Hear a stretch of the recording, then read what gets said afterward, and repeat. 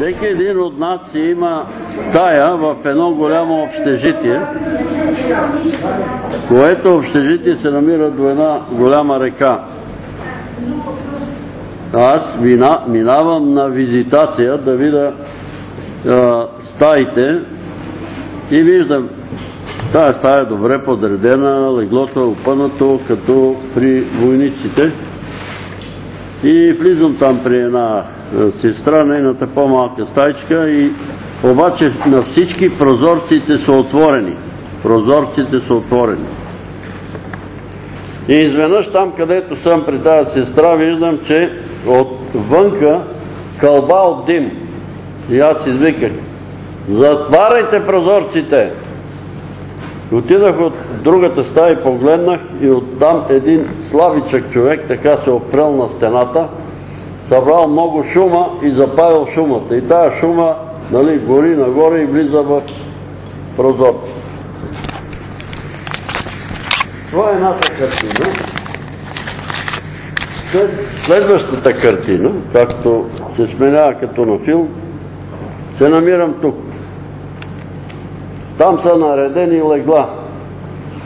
Ред легла. Тук един ред, тук един ред легла и там един ред. На така са. И всички, с изключение на трима души, спът. Всичко спи.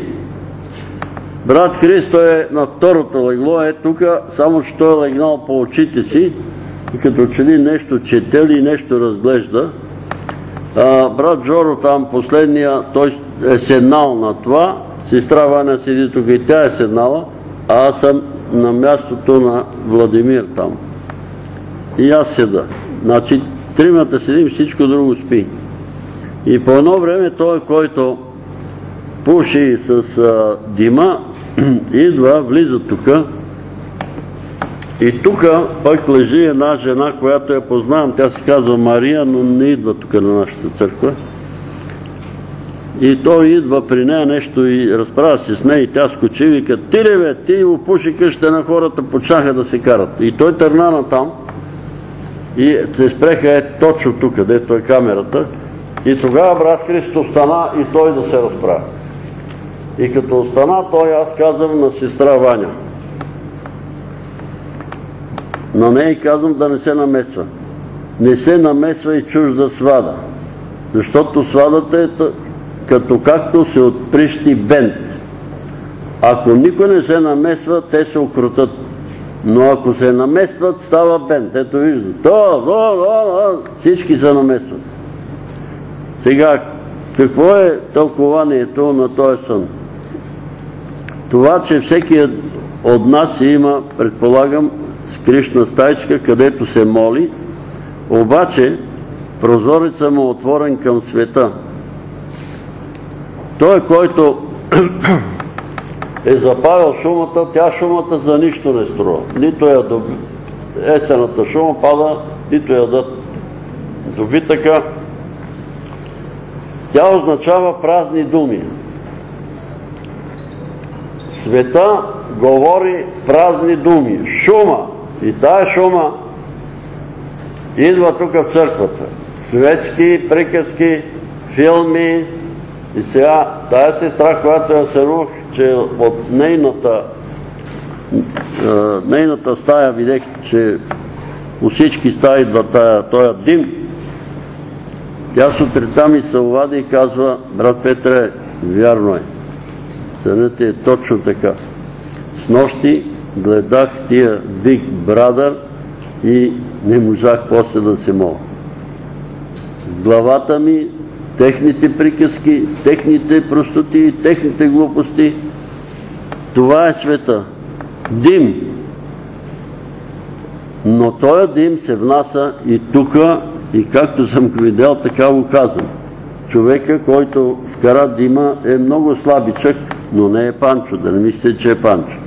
Но е възможно и Панчо с тия светски работи, той е казал, он е казал, нали, а това са празни, празна шума, празни думи, които не е редно тук в църквата да се коментират. Нали, извинявай, Панчо, но Въздържай се от политическа информация. Политинформация, там партийните събрания, тук нямаме нужда от политинформация. Но това е предупреждение. Освен това, това, че спиме, не е добре. Събуди се ти, който спиш, там казва, и възкрасни от мъртвите. Тоест, да се събудиме. Къде сме, какво сме, защото може Господ да дойде и ние си древеме и си спиме и викаме милостив Господ, милостив Господ. Гледах вчера онзи ден Пътешественика, хубав филм, имаше там един нехаен, се казваше, който стигна до вратата на Небесното царство, нехаен, безразличен и го пита ангела, къде ти е свидетелството? Ами нямам свидетелство. Хвърлете го. Всеки от нас трябва да има свидетелство, че Бог му е простил греховете, да, е, да има тази увереност, да се е молил за прошка на греховете, да е изправил греховете си и да има тая увереност. Защото в съдния ден нали, ще трябва всеки да си покаже свидетелството за натурален акт, че има в Небесното царство. Разбрахте ли ме? Нека да се молиме усърдно, Бог е милостив, но нищо нечисто няма да влезе в Небесното царство. Разбира се, Господ е милостив. Прощава всички грехове. Той знае, че сме немощни, слави, болни, но да оправяме живота си, защото по пътя ние си говорихме, 90% от българите са се идентифицирали като християни. 90%. Но изследванията са, че само 3% се пречистяват. А Господ казва, ако не ядете моето тяло и не пиете моята кръв, няма да влезете в небесно царство.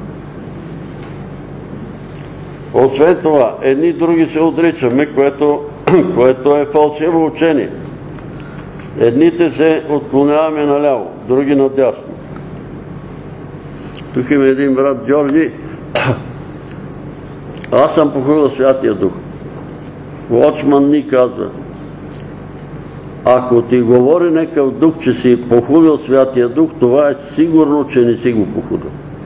Това е абсолютно сигурно, че не си го посхудил. Защото дявола нема да те тормози, похудил си Святия Дух. Той ще ти даде и пари, и слава, и богатства, всичко, само и само да погинеш. Но тия, които се притесняват дали ще влезат в Небесно цар, те ще влезат. Ония, които са нехайни, и казва, бе, милостив Господ.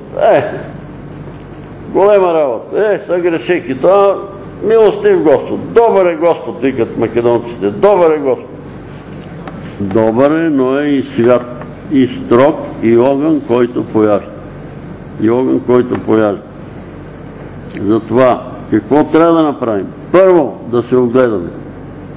Има ли човек, с който сме във връжда и в омраза? Мразим ли такъв некой, който е най-големия грешник, развратник, къв ще да е? Мразим ли, кипираме срещу него? Нема да влезем. Защо?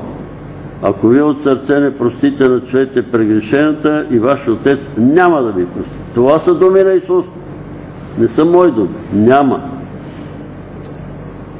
Каквото и да са ви направили ограбили се, имоти, не знам какво, вземали, не, не си прощават братя. Ето ние се моля. Его Сашо постоянно предлагат една там Емилия и тя, нейният зет. Два брата не могат да се разберат тук в Доброславци са, не могат да разделят имота. Бе. Не може да се карате, бе.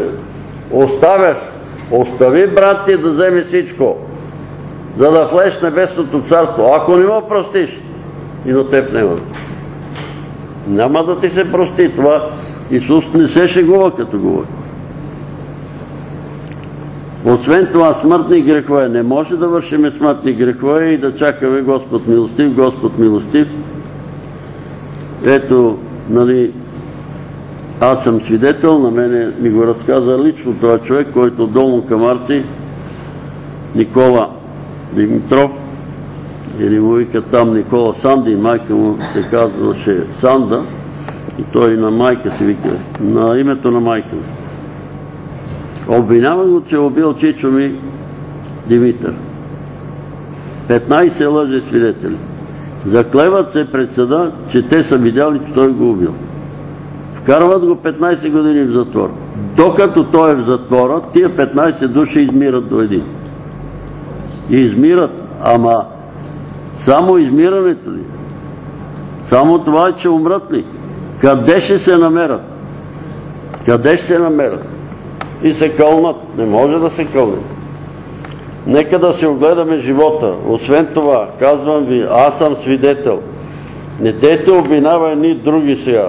Има, а майка ми беше православна, брат Иван вика, ама какво като е православна? Ама онзи там снаха ми е католичка. Е, какво като е католичка? Ето, аз ви казвам. Димитър Мишев, конгрешанин, Божия църква и 50-ните няма да го признаят, че той е истински християнин. Защото той е конгрешанин. Той се разволя, болен. Ние се молиме за него и аз сънувам сън. Утре иди на конгрешанската църква и седни в дясно на първия ред. Отивам, сядам там, поглеждам към подиума.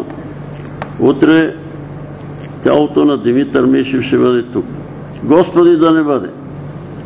На другия ден той почина. През нощта сънувам.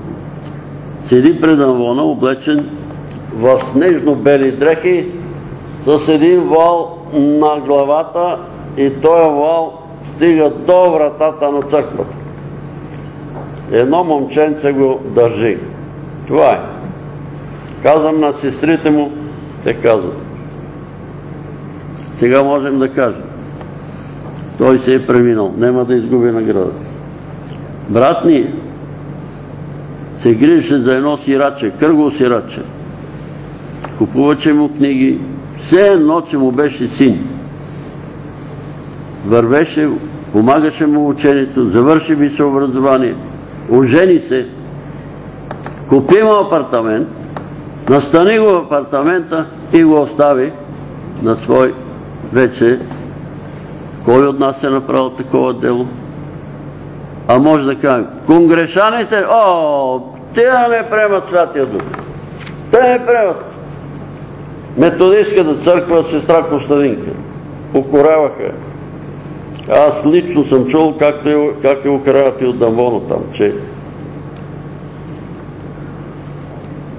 замина за Америка да учи за дяконица. Върна се, каза брат Петре, че си загуба в Америка американците да прощават, нали? Ама това каза жената. В училището, където отидох за дякониси, 80% от бъдещите дякониси не вярват, че Исус е възкръснал. Не вярват, че е възкръснал. Какво казва апостол Павел? Ако няма възкресение, празна е вашата вяра. Празна е вашата вяра.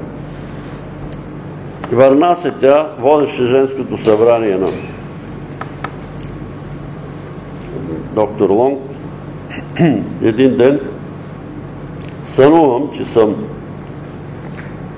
на кръстовището там, Болгаза, след Дябленица, има едно място, за Тетевен пътя, и аз отивам там с един мотор, катаджията ми спира и казва ти ще стоиш тук на кръстопъти и ще показваш пътя на хората. Двама маджея хванаха, поведаха нагоре, бели дрехи, тя облечена бело. Брат Петре, страх ме, не бой се, сигурни ръце си. На другия ден се изпуква жлъчката и вкарат в пирогов и тя почива. Отново сънувам сестра Костадинка. Събрали сме на площада на авиацията. християни от различни деноминации. И тя е между нас. Изведнъж дрехите й блеснаха, както на Исус на преображението. Блеснаха, повеляха дрехите, тя се дигна нагоре като ракета, отиде горе в въздуха, ни всички я гледаме. И две монахини, католически монахини, излезнаха зад един облак, е така я хванаха и скриха зад облак. И пастир Зарев, който беше между нас, каза, братя, ние трудно ще отидем там, където отиде сестра Костадин. Методистка. Не говори езици. Не е кръстена със Святия Дух. Но отиде в небето. Тодор Георги Тодоров.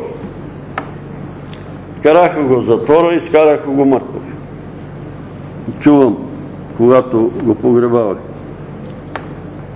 Небето посрещна с арфи Георги Тодоров.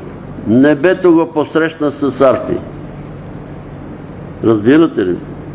Така че, който ви говори, че 50-ните няма да влезат, че православни няма да влезат, че католици няма, лъже. Лъже! Такъв човек е лъжец и той, той човек трябва да бъде изобличаван. Трябва да бъде изобличаван. И сега, не се карайте тук, намираме се в Божий дом. В Божия дом има ангели.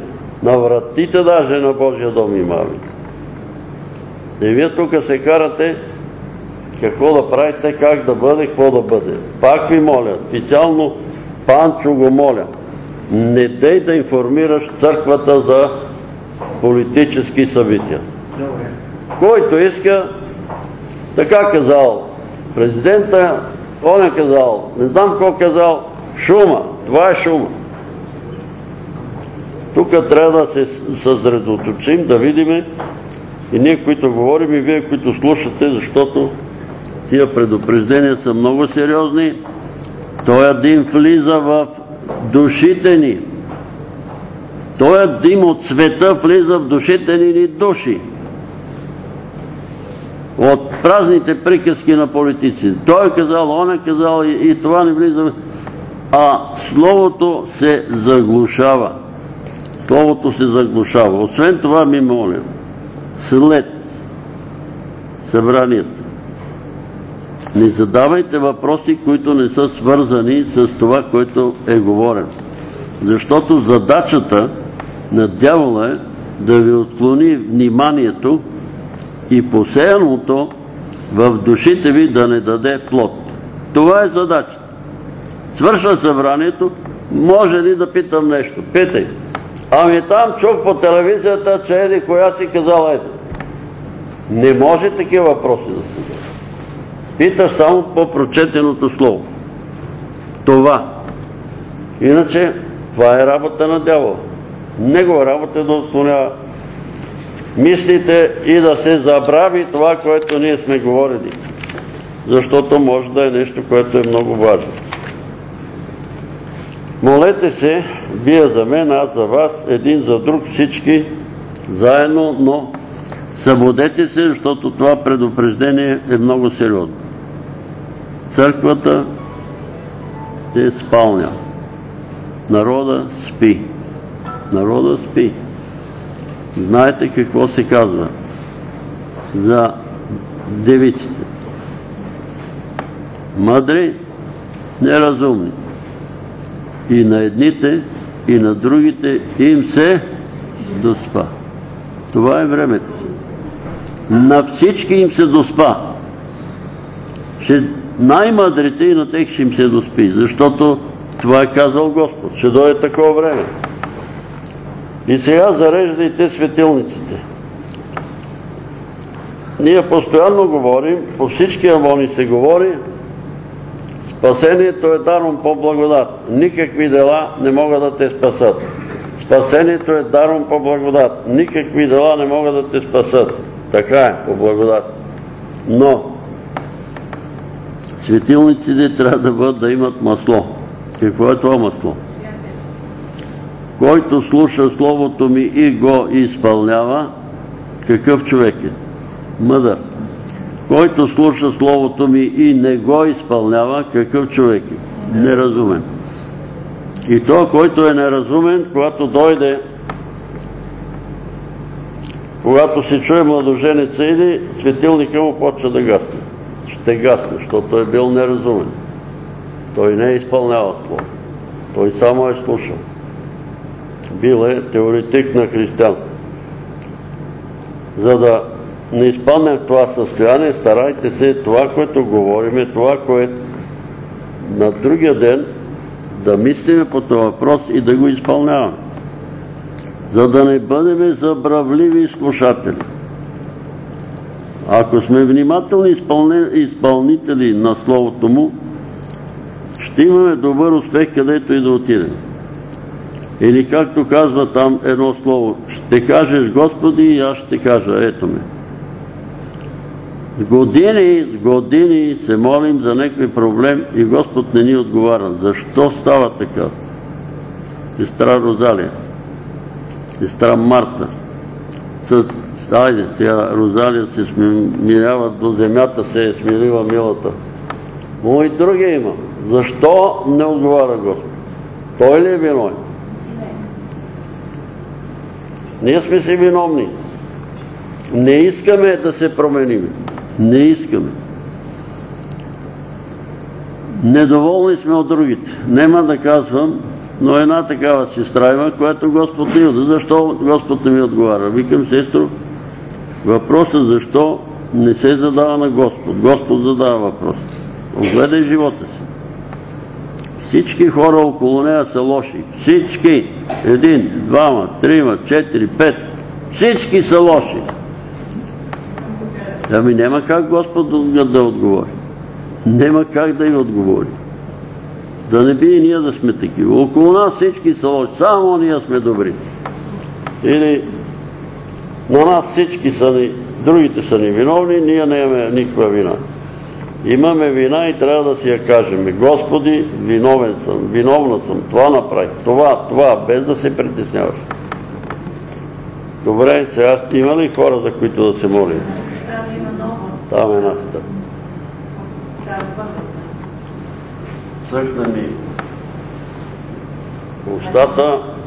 Вчера мислих, че е сигнал за карта, ама премериха вчера не, пет и нещо.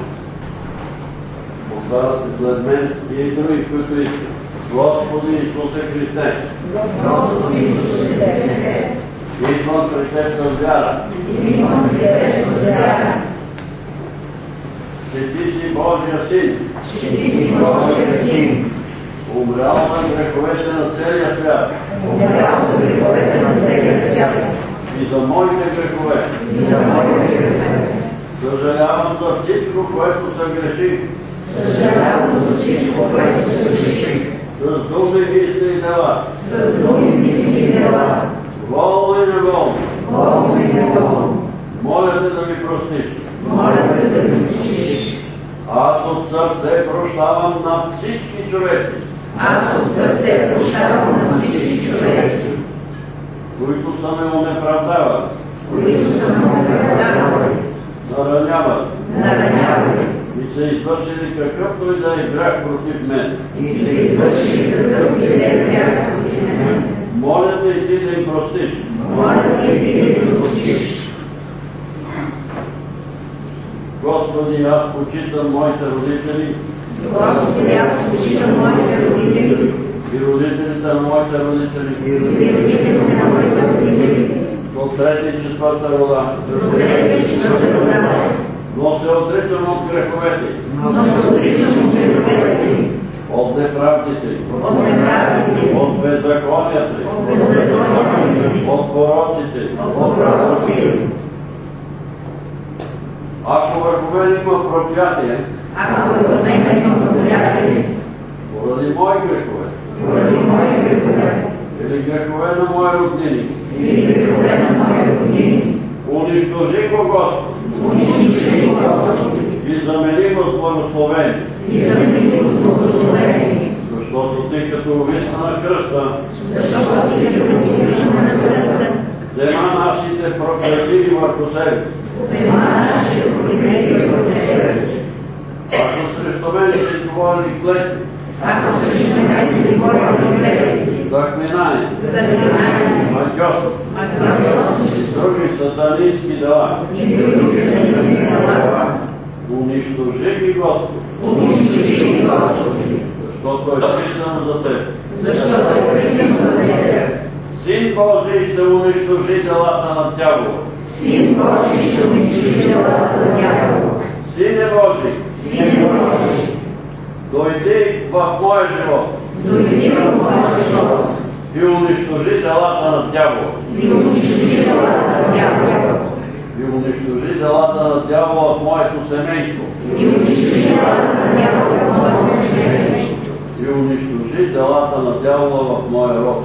И унищожи делата на дявола в моя род. Аз се отричам от Сатана. Аз се отричам от Сатана. Отричам се от духа на Антихриста. Отричам се от духа на Антихриста. Отричам се от духа на лъжен пророка Отричам се от духа на лъжепророка. и от всичките им служители И от всичките им служители. и от всичките им нечестиви дела. И от всичките им нечисти дела. Не желая да имам нищо общо с тях. Не желая да имам нищо общо с тях. Нито те да имат нещо в мен. Нито те да имат нещо в мен. Аз искам тук на земята Аз искам тук на земята и във вечността. И вечността. Да бъда с Теб, Господи, да бъда с Тебе, Господи, и с Твоите свети и с Твоите свети, и да гледам славата Ти, и да гледам славата Ти, която имаш отпреди свет да съществува. която имаш преди света да съществува. Затова Те приемам. Затова Те приемам мой личен Господ и Спасител, за мой личен Господ и Спасител, за мой личен освободител. За мой личен Освободител. И за мой личен универсален лекар. и за мой личен универсален лекар. И Те моля, И Те моля, освободи духа ми. Освободи духа ми. От всякаква демонична връзка. от всякаква демонична връзка. Спаси душата ми. Спаси душата ми и взери тялото ми и изцели тялото ми всяка болест всяка болест всяка немощ. и всяка немощ. Благодаря ти, Господи. Благодаря Ти, Господи. Амин. Амин. Ами сега като няма сестра Ваня и няма кой да даде тон.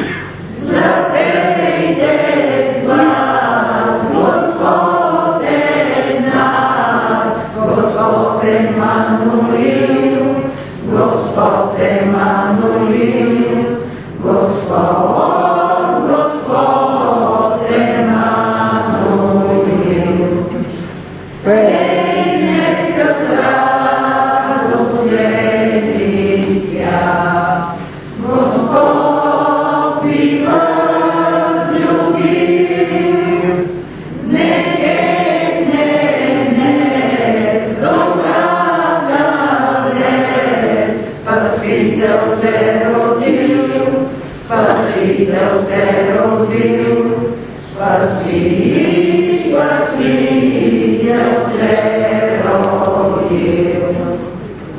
Che bello! Pet tutti in sei osse, mosse lì. Osse, mosse. Osse, mosse. Pet, osse, mosse. Ah, pet, osse, mosse.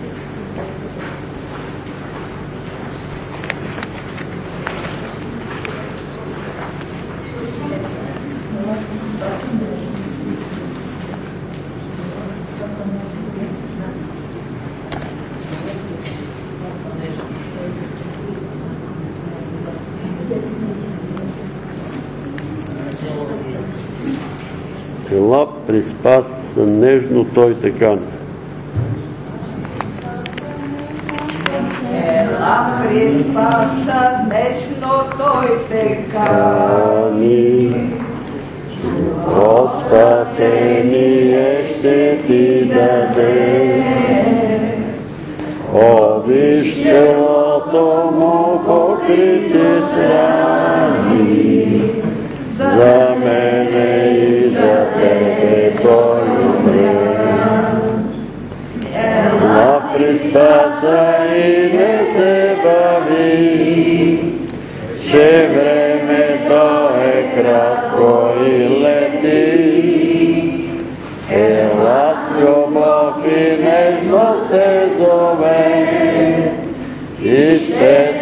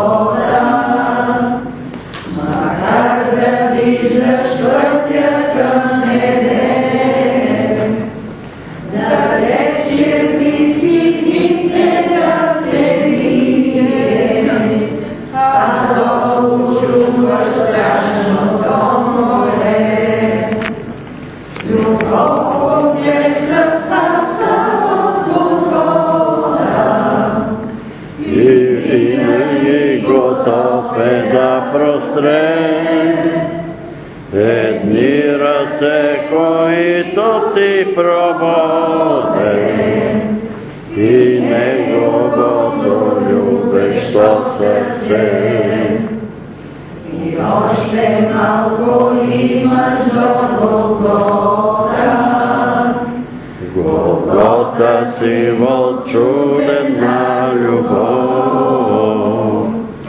За тебе още страда и те чака. О, бягай, бягай ти под този покров. Ела при спаса и не се бави, че времето е кратко и лети. Побързай ти сега до гледа и горе ще си винаги бла. 11 глава от Евангелието от Йоанна. Беше болен някой си Лазар от Витания от градеца на Мария и сестра и Марта. А Мария, беше, а Мария, чийто брат бе болен, беше оная, която помаза Господ с миро и отри нозете му с косата. Сестрите проводиха да му кажат, Господи, ето оня, когото обичаше болен. Като чу това Исус рече, тая болест не е за умиран, а за слава Божия, за да се прослави чрез нея Син Божий. А Исус обичаше Марта и сестра и Лазаря. А когато чу, че е болен, престоя два дни в мястото, дето се намираше. След това рече на ученици си да идеме пак в Юдея. Учениците му рекоха, Раби, сега юдеите искаха с камъни да те убият и пак ли там отиваш? Исус отговори, нали 12 часа има в деня? Който ходи дене не се препъва, защото вижда светлината на този свят. А който ходи нощта препъва се, защото светлината не е в него.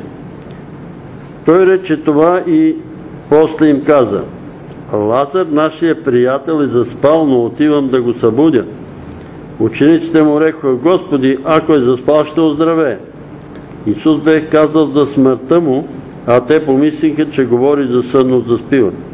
Тогава Исус им рече, открито, Лазар умря. Ала се надявам, ала се радвам за вас, че ме нямаше там, да повярвате, но да идем при него. Тогава Тома, наричан Близнак, каза на съучениците, да идем и ние да умрем с него. Като дойде Исус, намери, че той е вече от 4 дни в дена в гроба. А Витания беше близо до Ярусалим, около 15 стадии. И мнозина юдеи бяха дошли при Марта и Мария, за да ги утешат за брат им. Марта, като чу, че иде Исус, посрещна го, а Мария седеше в къщи. Тогава Марта рече на Исус, Господи, да беше тук, нямаше да умре брат ми. Но и сега зная, че каквото и да поискаш от Бога, ще ти даде Бог. Исус си рече, брат ти ще възкръсне. Марта му каза, зная, че ще възкръсне при възкресението в последния ден. Исус рече, аз съм възкресението и живота. Който вярва в мене и да умре, ще оживее. И всеки, който живее и вярва в мене, няма да умре вовека. Вярваш ли това? Тя му каза, да, Господи, аз вярвам, че Ти си Христос, Син Божий, който иде на света до тук. Възкресението следващия път. Защото много се разпростираме.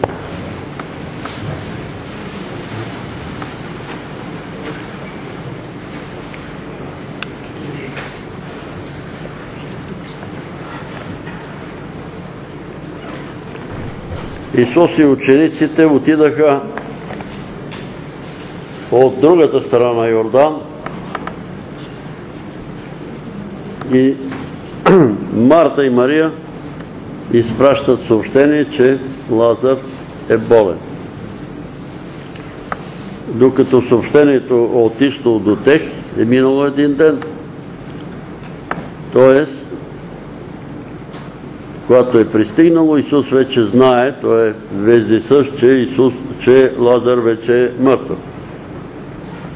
Но нарочно се бави два дни, за да може Божията слава да бъде по-голяма при възкресението на Лазар. Господ всичко е вземал под внимание, че след това, ако беше отишъл в момента и той е паднал и хората ще кажат, ми бил е в кома, бил е в припадък, но друго е 4 дни да бъде в гроба и това каза и го направи Исус. И това е последното чудо, което той извършва преди да бъде разпънат. Та, да се закрепи вярата на апостолите, на уния, които вярват Него и други да повярват. И да бъдат без оправдание съдния ден тия, които ще го осъдат. Тия, които ще го осъдат, като видят и знаят това дело. И затова се бави два дни. Ако сме ние и ни кажат, еди кой си е болен, еди къде си, веднага палиме колите и тичаме там да помогнем да се изцери. Но той не бърза. Виждате, че Господ не бърза. Защото си има Божие време за всеко нещо. Понякога и ние сме такива и даже роптаеме, защо сега не ме изцериш, защо още не ме изцериш, защо? Той знае защо. Той знае защо. Защото иска да се смирим и да кажем, Господи, да бъде волята. Господи, да бъде Твоята воля.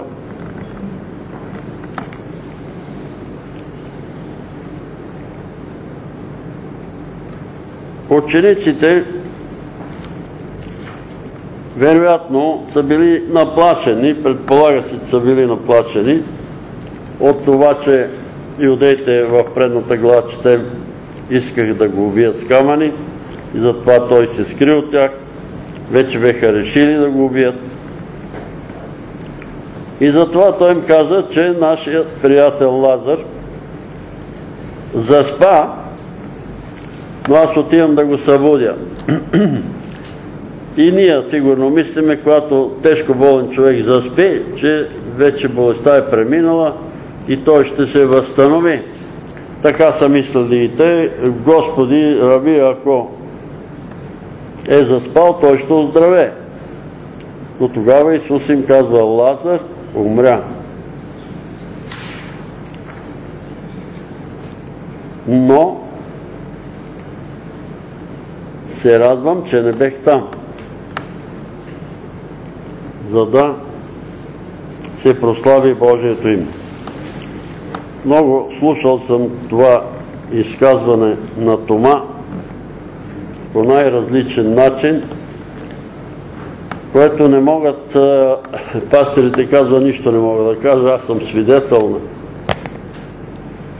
Нищо не мога да кажа по въпроса това, което казва Тома.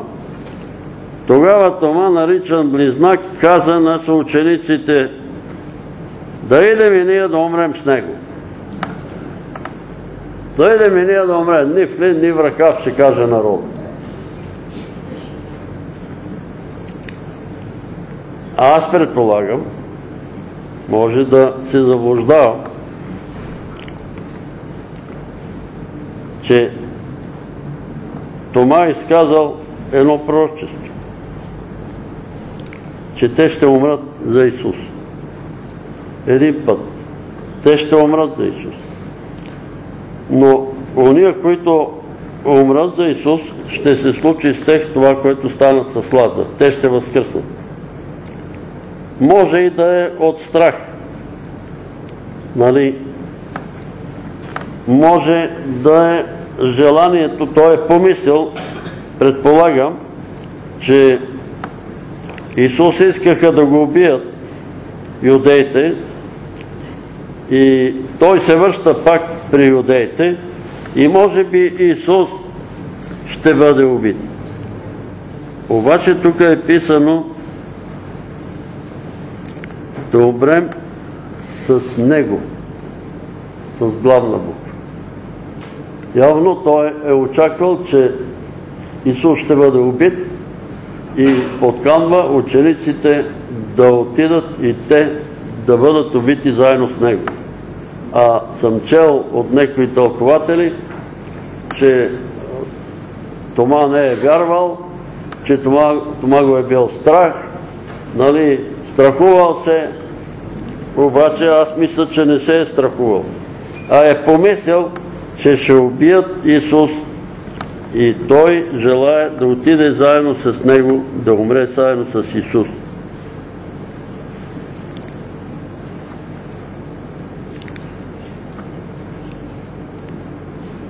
Витания е близо до Ярусалим, около 5 км. Исус пристига в Витания и научава, че Лазар е от 4 дни в гроба. Той това го знае. Той е Бог, той знае всичко. Но това му съобщават. И мнозина юдеи, които Бяха при Марта и Мария и ги утешаваха за брат им. Беха дошли от Иерусалим.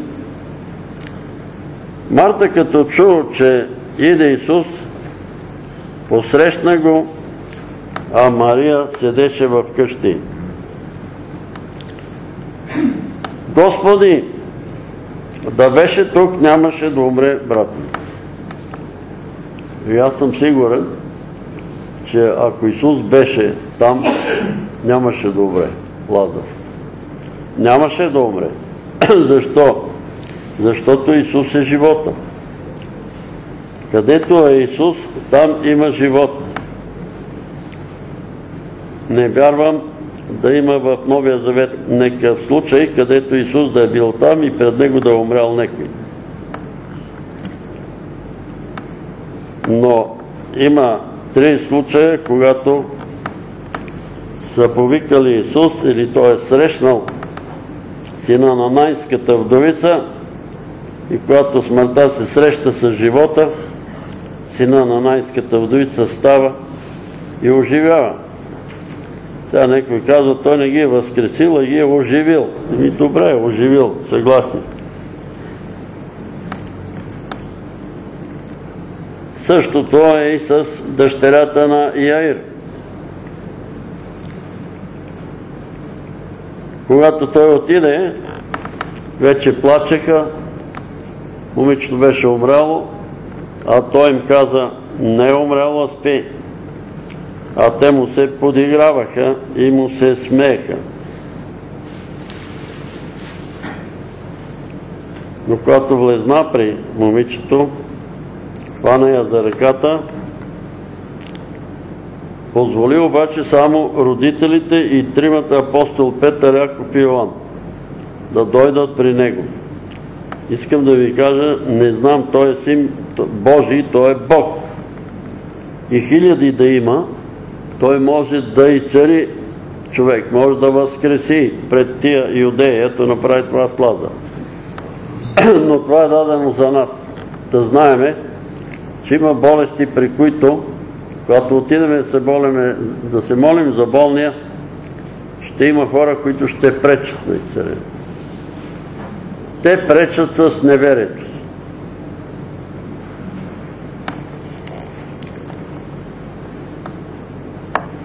На брат Петър Боргов, брат му падна от някакво скеле, някакъв строеж и беше в много тежко състояние, започна да припада, като се пооправи. И ние отидахме да се молим за него, те живееха тук някъде до пазара. И когато се молихме за изцелението му, аз усетих много голяма сила, която дойде върху мене, върху ръцете ми и когато си отидахме, помня, че до халите тая сила на мен напускаше и ръцете ми гореха. И бех сигурен, че този човек ще бъде изцелен, но той не получи изцелен. Тогава се молих и казах, Господи, защо този човек не получи изцеление, като даде такова помазане и такава сила? И тогава сънувах сън, че съм там при него, молиме се, аз съм си служил ръцете над главата му. От небето идва един сноп плаче, минават до ръцете ми, минават под ръцете ми и отиват на страни.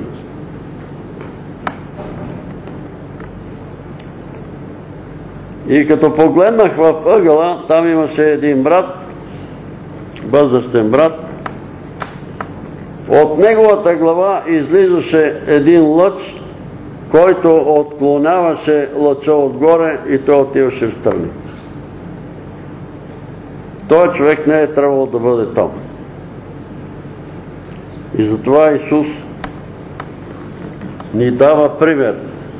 Можеше ли през всички хора да каже Момиче, тебе казвам стани.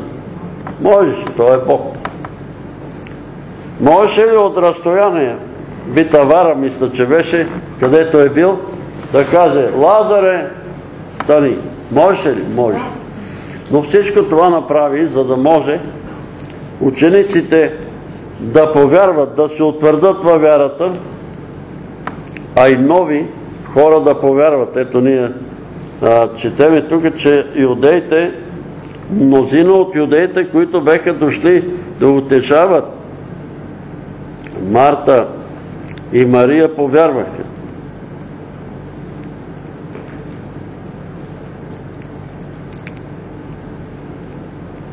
Така и аз вярвам, че ако някой човек умира и Господ дойде, дойде до леглото му, той ще бъде и царен и няма да умре. Но вижте какво казва Марта. Но и сега зная, че каквото и да поискаш от Бога ще ти даде.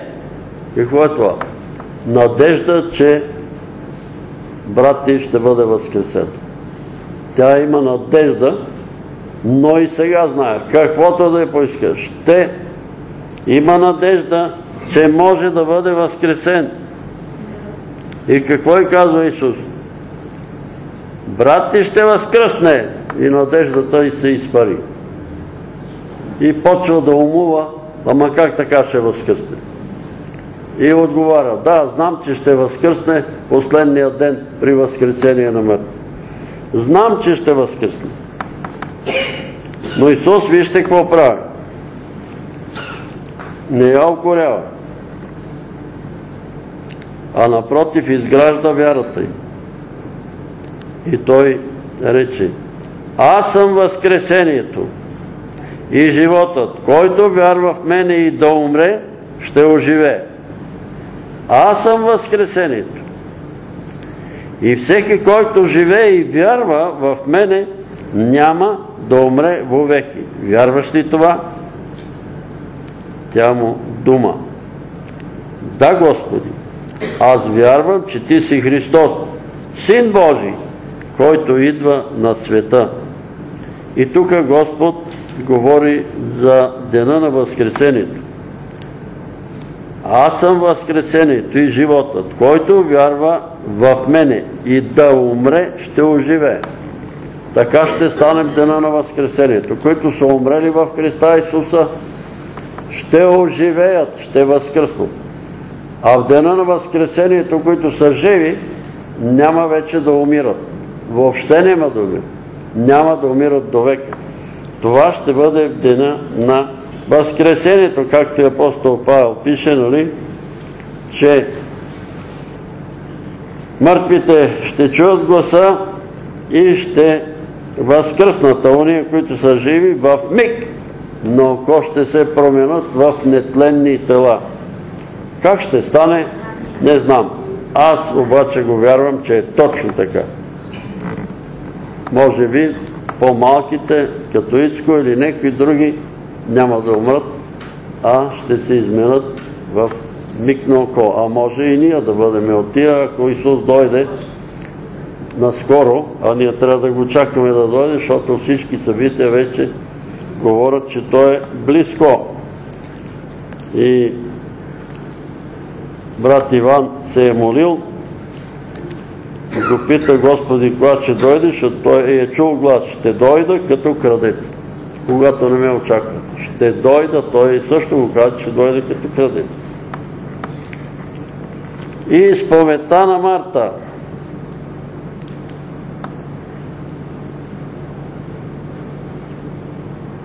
Ти си Христос, Син Божий, който иде на света. Тая изповед ни е необходима за всеки един от нас. Защото и казах ми, че вчера, онзи ден гледах пътешественикът и когато нехайния слезна, дойде до вратата на рая, ангела го попита, дай си свидетелството. Нямам свидетелство. Е как така нямаш свидетелство? Ние трябва да имаме свидетелство, че са ни простени греховете, да имаме свидетелство, че сме християни, да имаме свидетелство, че когато ни попитат кои сте, да дадем отговор на човеците, които ни питат. Аз съм християнин и вярвам, че Исус е Сина на живия Бог. това свидетелство те спасява.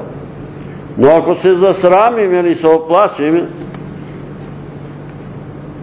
че си загубим спасение. Така казва Исус. Може би се заблуждавам.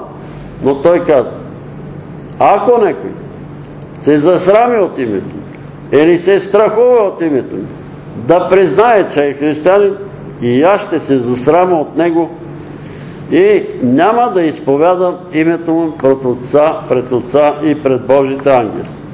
И аз знам три случая, които хората са се засрамили и са били отхвърлени.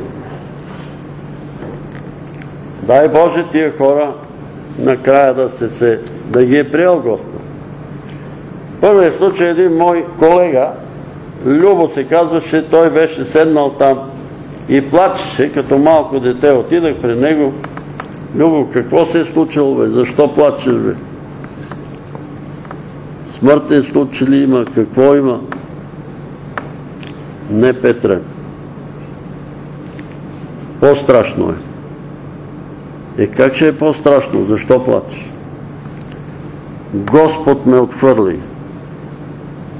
И плача и викам, милост, Господи, милост, никой, никой не ми отговаря. И как стана? Завърших учителския институт и когато да ме назначат за учител, ме извика на едно събрание там директора на училището и казва ние знаем, че ти си християнин, християнин, ходиш на църква, но имаме нареждане християни да не се назначават учители. Обаче аз те познавам и знам, че ти си много кадърен, способен, порядъчен човек искам да те назнача за учител, но трябва да кажеш пред събранието, че си се заблудил.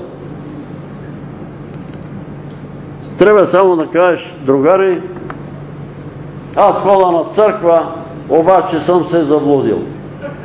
Толкова. И аз казах, че го кажа, па ще си вярвам. Казах пред събранието, другари, аз хода на църква, но съм се заблудил. Назначиха ме за учител, всичко в живота ми наопаки. Ама всичко назад. Викам, поста, хода на църква, плача и никой не ме чува. Другия случай едно момиче дойде тука и сена на мястото на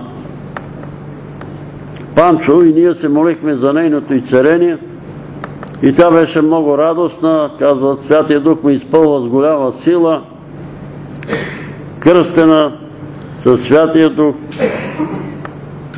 радва се. След една година, Васка се казваше, дойде отново сена тук и почна да плаче. Ама плаче с глас, ама реве с глас. Е тук на Панчо место. Какво бе Васке? Какво е станало бе? Какво бе? Майката ли си отиде? Бащата ли? Това беше по времето, когато Жан Виденов дойде на власт. Васка е учителка в едно плевенско село. Бика директорката и каза, имаме от МОН, Министерство на образованието, заповед всички безпартийни учители да бъдат уволнени.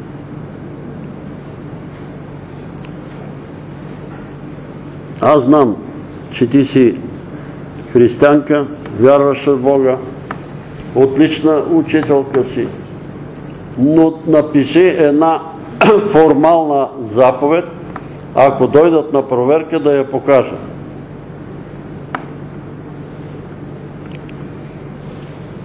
Молба, че искаш да стане член на БСП. Не на БКП, на БСП. Сега вече БКП го няма. Тая, никой няма да знае. Тая заповед ще тук в чекмеджето, ако дойдат нещо, ето тя е подала молба, още не сме я приели, ама ще я приемем. Тя е добра. Момента вика, когато подписах заповедта, усетих, че Святия Дух се отдъпна от мен. Викам, моля се, никакво помазание, нищо, всичко наопаки. Ами викам, абе, ти наясно ли си, че който се отрече от него, ама аз не се отреках, аз само искам нали, подписах тая заповед.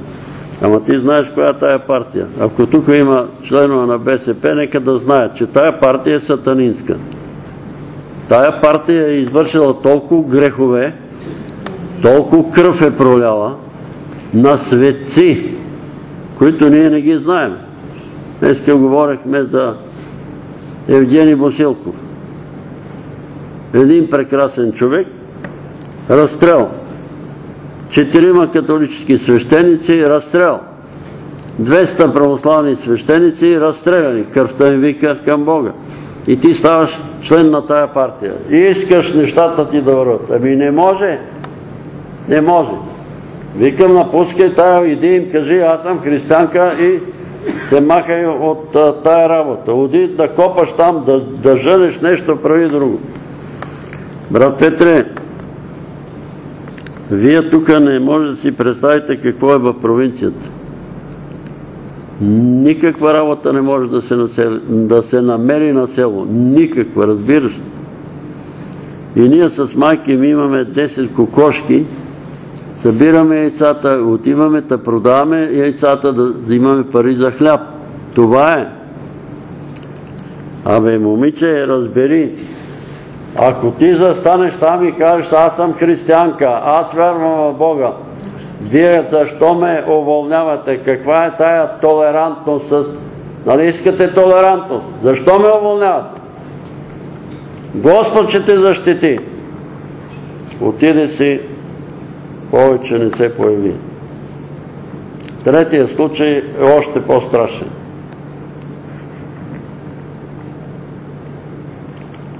Сънувах сън, че се разхождам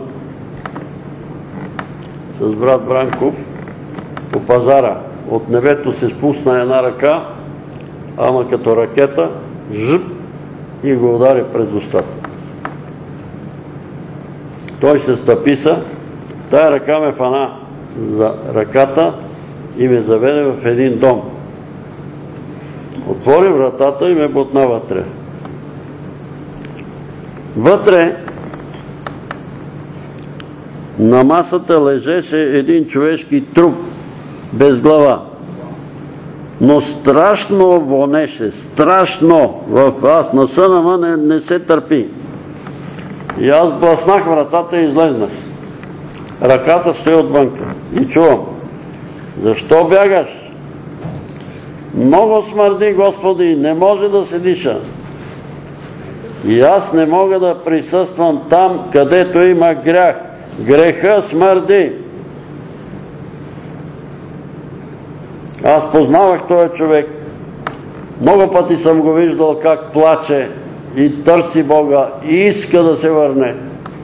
Историята е, че като пастир са го извикали в дома на атеста и са поискали от него, за да продължи да пастерува, да каже аз съм се заблудил. Аз проповядвам Евангелието, чета Библията, но съм се заблудил. И той отива и го казва. И до там. Затова казвам ви, вярвайте в Бога. Може ли Твореца на Вселената да те защити, когато кажеш, че? Ама от кого се плаши? От човек.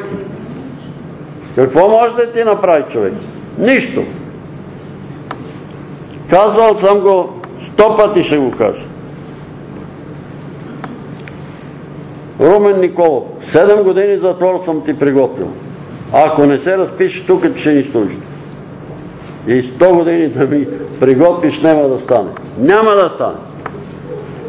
Абе човек, ти си заблуден, това е измама, лъжа. Вярата ми в Господ Исус Христос е смисъл и съдържание на моя живот. Ха-ха-ха-ха, почаха да се смеят.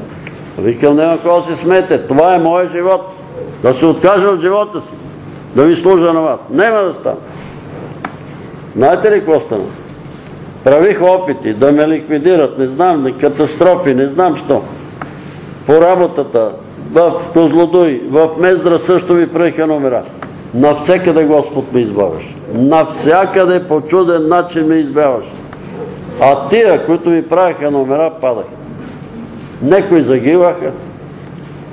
Беха ми направили един номер да падна от една стълба там, да се потроша и да загина. Двамата, които направиха този номер, паднаха един от едно стъпало на стълбата и си супи тазоведрена код. И го питам, знаеш ли защо пена? Знам. Ама едно, знам! Другия си изкочи крака, ходи там, та му биха акупунктура и гледа да го лекуват и тия корейци, не корейци ми, китайците и се парализира. И Румен Николов, майор Николов ми каза, а казала и на младежите от там на тия Тимевите, казал, а това Петър Велев е магиосник. Не знам. И ми казва на мене, верно е, аз знам, за всички изцелени хора тук ми се докладва. Веднага се докладва. Но ти имаш някаква дарба да наказваш враговете си. Хората, които идват тук и те клепат и ти правят разни номера, всички пострадаха. Затова ви казвам, на никаква цена не се засрамвайте и не се плашете да кажете християнин съм. Християнин съм. Когато кажеш християнин съм, Господ казва на ангелите. Чухте ли го? Панчо каза, че е християнин. Тичайте да му помагате и да го пазите. И ангелите пристигат и те пазят. Когато се засрамиш, той казва на ангелите, оставете го. Оставете го, не се занимайте с него. Твореца, господаря на Вселената, чрез когото всичко е станало, да се засрамиш от него. Много хора се гордеят с това, че познават некой артист, некой футболист, некой генерал, некой министър. Много се гордеят. А да познаваш Твореца на Вселената, срамота ли е? Срамота ли е да познаваш Твореца на Вселената? При мен работеше един футболист, Сашо Костов, фанфана му викаха, и ние се видехме на това на Орлов мост и той ме позна. Пеше, какво правиш, здравей, как си, здрасти, Сашко, и там хората около. Абе, откъде го познаваш то? Но това е фанфано, бе. Е, какъв фанфан, бе? Един футболист. Е, какво толкова? Е, какво, като го познаваш? Хората се гордеят, нали, че познават някой артист, че познават някой важен човек. И какво като го познаваш? Какво от това? И така, може би се отклонихме малко от темата, но следвайте примера на Марта. Кой е Христос? Синът на живия Бог. Там кой каза неговата майка и на сестрата е там отзад. Отишла при яховистите. Какво говорят яховистите? Ами той е пророк, обаче той не е син на Бога, защото нема никъде в Библията не било писано, че Исус не е, е син на Бога. Писано е. Писано е, че е син на Бога. Как да не е писано? Ама нема свидетелство от небето, от Бога. Има и свидетелство. Его, тук пише. Не било писано. Ми тук какво пише? Ти си синът на живия Бог. Ти си Христос. Той е моят възлюблен син, в когото е моето благоволение. Не го слушайте, когато го кръщавах. На планината на преображението. Когато се препираха с Исус. и казаха, ангел му говори. А той кой му отговори? Той глас не е за мен, а за вас. Той е моя възлюблен син, в когото е моето благоволение, не го слушайте. И така нека следваме примера на Марта и когато стане дума за нашата вяра, да не се нито срамуваме, нито страхуваме, че може да дойдат такива времена, да ни карат да се отречем от вярата. Защо? Защото и да умрем, ще живеем, ако не се отречем. Но ако се отречеме, ще си умрем. Ще си умрем и затова ние говориме за това лесно християнство, което се проповядва, че ще дойдат ни за изпитание и аз виждам много наши сестри, братя минават през много тежки изпитания, болести, страдания. Брат му против, баща му против него, майка против него, жена му против него. Така е. И всички ти изпитания трябва да ги издържим.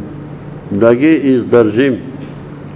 Защото Господ не иска само ние да бъдем спасени, а иска всички да бъдат спасени. Да бъдат спасени домовете ни, да бъдат спасени и родовете ни, да бъдат спасени. В Баптистската църква имаше един брат, жена му не вярваше. 30 години се моли за нея и накрая тя повярва. 30 години. Ама когато тя повярва, па стана огън. Благовества, ходи, аз съм била толкова глупава, явно Господ я докосна. Е, трудно е, нали, да си представиш, но този човек се е смирявал, молил се е за нея и ето резултата е на лице. Резултата е на лице. Вярвайте на думите на Исус. Днес стана спасение на кой? На този дом. На този дом. Един се спасява, Исус каза, че спаси целият дом. Той знае как. Ще го върти от там, от тука. И блажени са тия хора, които има някой да се моли за тях. Блажени са тия хора. А трагедия, където в целия дом и род няма никой, който да се помоли за тия човек. И затова пък наше задължение, както казва апостол Павел, да се молим за всички човеци. Господ да ги докосне, да ги благослови, да ги помилва и да вярваме, че дори и да умрем, ще живеем. Ако пък вярваме и дойде Възкресението, тогава пък изобщо няма да умираме. Това са думи на Исус. Вярвайте ги. Това е самата истина. Господ Исус Христос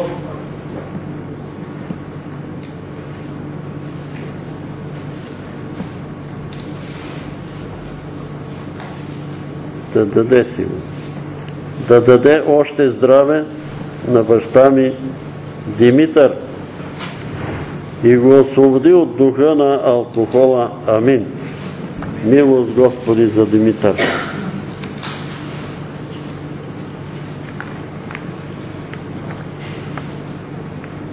Бог да ви благослови. Да се молим за Диан, за пълно покаяние и да може да си прости, че не е направил най-доброто за баба си, докато е била жива.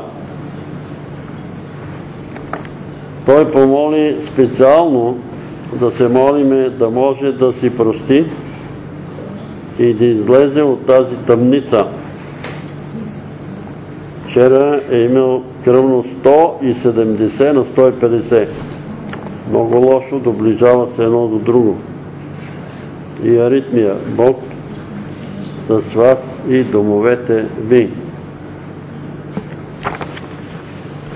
Нищо не може да стане, ние говорихме, без Божията воля и без Божието знание. Едно, прач... Едно врабченце не пада без Божието знание. Това казва Исус. Не пада. Нали, аз съм ви казвал, Светана Штипакова се казва тая жена, долу камарци, аз сънувам сън, че този ден Цветана Штипакова ще си премине. Тя е жива и права, здрава, но ще си премине. На другия ден тя е здрава, отива на ливадата, пада там на ливадата, инфаркти и си заминава. Ние сме някакви роднини там с тех. Дъщеря й, синовете й. Единият син е милионер. Казахме и да не ходи на ливадата, бе. Казахме и, бе. Викам, нема да стане. Където и да сте я скрили, ще ще да се замине. Ама не, ако си беше дома, ние щехме да защитим, щехме да направим. Нищо не може да направим. Нищо не може да направим. Моята леля Иванка ми е разказвала на баща ми сестра.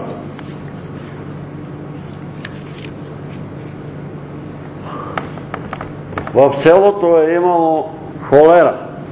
Не знам сестра ми дали си знае този случай. И некакъв много грозен демон е обикалял селото. И като сънува в днешния ден, вика тая нощ, че той влиза в еди, коя си къща, на другия ден той дом пищат. Той дом пищат. Следващия отида на друго место и там пищат. И явно, че холерата е демон. Обикаля и поразява. Един след друг. Каквото и да направиш, ако Господ е пратил ангела си да те прибере, нема нищо да стане. Освен ако Господ каже, остави го. Намери ходко. По времето на земетресението, едно голямо земетресение, у дома имаше един арабин, Самир беше дошъл на гости, аз имах такива мексиканци, квартиранти, разлюля се къщата, масите се разлюляха. Самир мина под масата отдолу, разбута ги, слезна надолу и разбута хората и по столите и, и, отиде на поляната. Мириам се казваше мексиканката. Самир, ела тука. Глупаво е да загина под тия панели. Ела да ти задам един въпрос тук пред хората. Кажи, вярваш ли в Аллах? Вярвам. Ако Аллах заповяда на един ангел и каже, иди ми донеси душата на Самир, къде ще се скриеш? Отговори ми, къде ще се скриеш? Е, да, ама по-добре да ми вземе душата на поляната, отколко там по тия. Какво значение има? Какво значение има? Затова не бойте се, много е силен нашия защитник и нашия Бог. Никой не може да грабне от ръката. Никой. Ако си в ръката на Исус, не може да те грабне. Така че не се безпокойте. Моля ми, брата и сестри, да ме подкрепите в молитва, Бог да ми и цели бъбреците. По Неговата милост и благодат. Благодаря ви, сестра в Господ.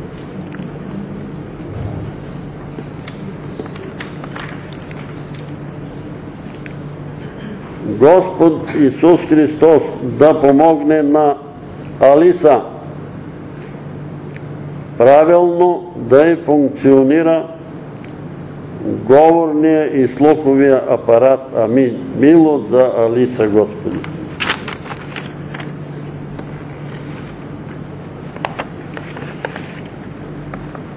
Брати и сестри, моля, помолете се за съпруга ми Станислав и сина ми Петър. Господ да ги призове. Благодаря ви, сестра Мария.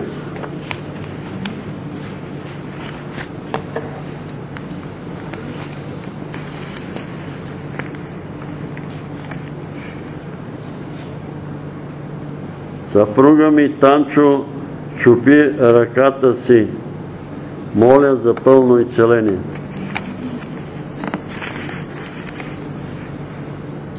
Брати и сестри, понеделник се молихме за Войчо ми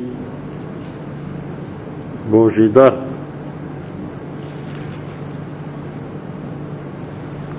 Катя, Слава, да пристигнат. Благодариме. Живи и здрави са. Бог да ги пази. Слава на Бога. Молихме се, пътуват със самолет, да са пристигнали се вече. Благодариме на Бога. Живи и здрави са. Брати и сестри, моля да се застъпите пред Бога в името Исус Христово, за наша сестра Нина. Дай Господи защита за нея от сатанист и действията му в нейната работа. Амин.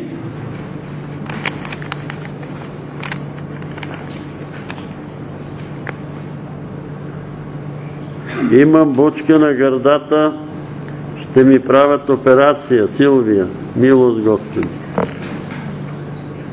Благодаря на Бога за внуците,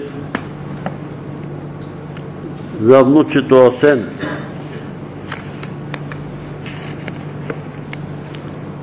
За дете. Мария. Лекарите казаха, че проблемът в мен за за да нямаме дете, Татьяна. Има проблем, за да нямате дете. За дете Иво.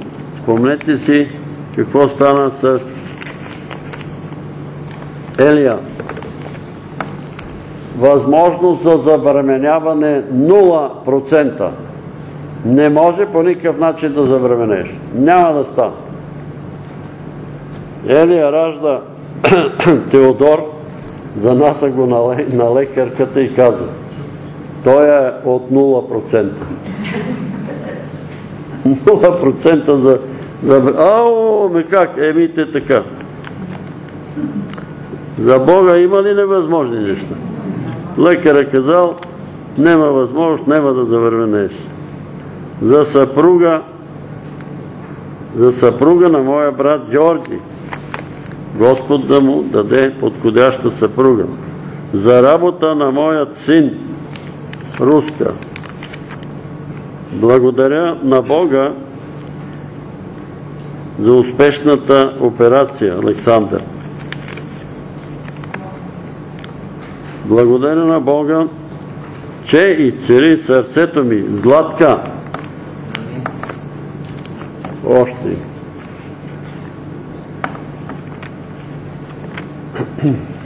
да се молим Цветозар да има нормален, достатъчен сън, а Кристиян да диша без проблеми. Амин. Не ти ги даде, ама къде го стои? Това ли? Не. А? Най-отгоре. А това? Е това.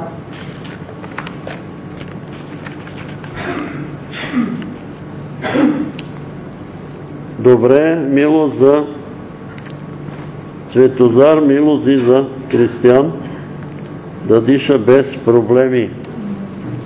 Трябва да потърси и лекарска помощ с дишане.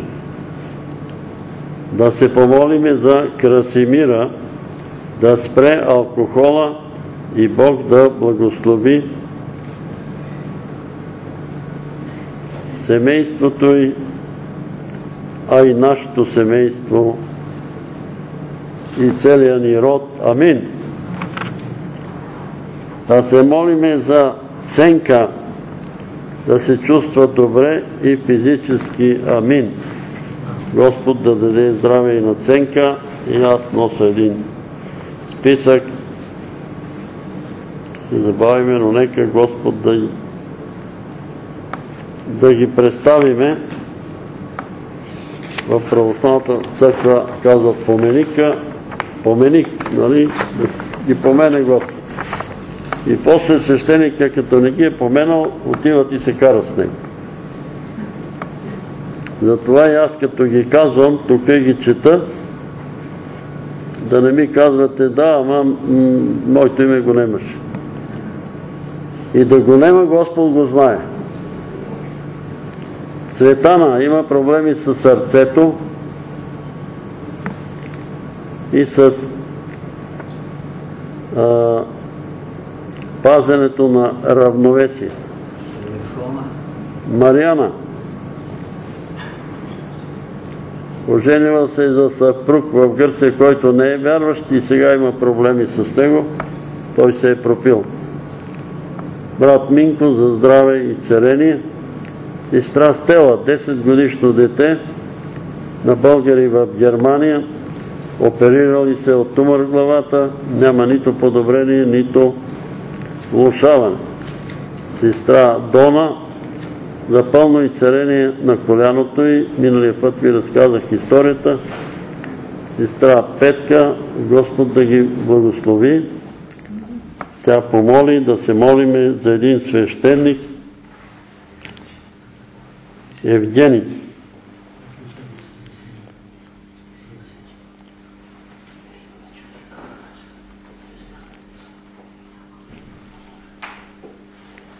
Не. Мариан. Ябор. Ан-Мари и децата им Фили и Педи и Калина за мир, за здраве и благословение. Те са в САЩ. Маргарита, Цоню и Светла от Кирифарово. Емилия, щитовидна жлеза. Владо, болки в краката. Радостина, щитовидна Виктори, Виктори Емануил. Братя не могат да се разберат.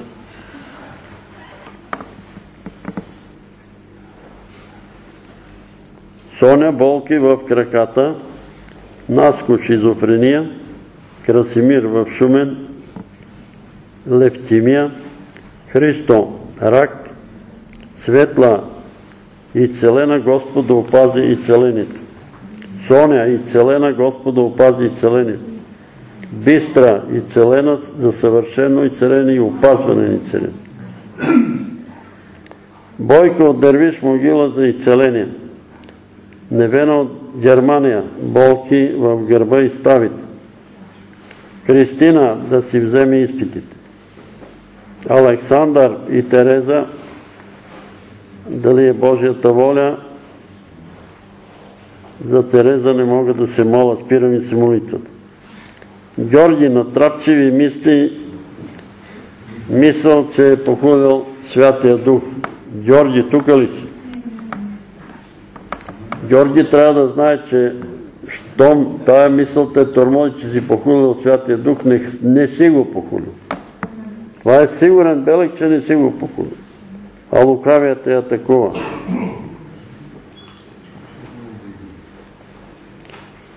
Николай на сестра Марта пътува от Англия за България, да дойде благополучно да бъде пътуването. Диан, молихме се за него, мисли за самоубийство.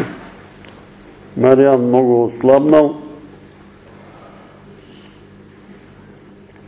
Лекарите не могат да открият диагнозата.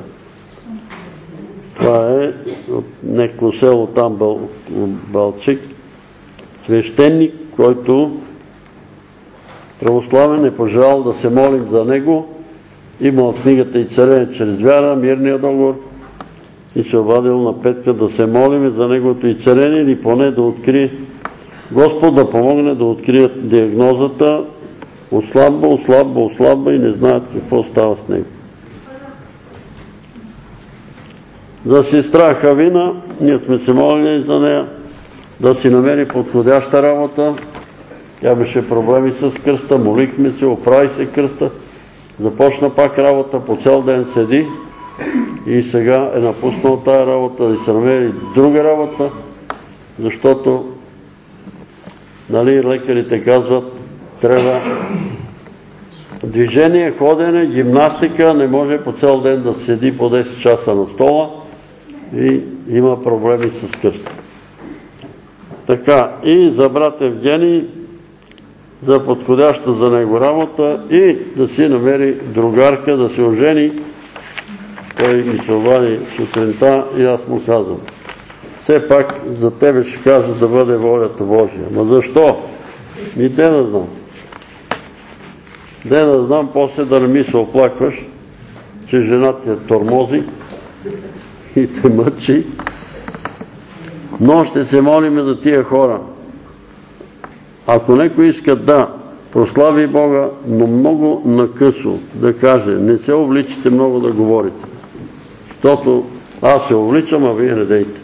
Искам да прославя Бога, брати и сестри. Във вторник с Сандра бяхме в, на изследвания в. Да.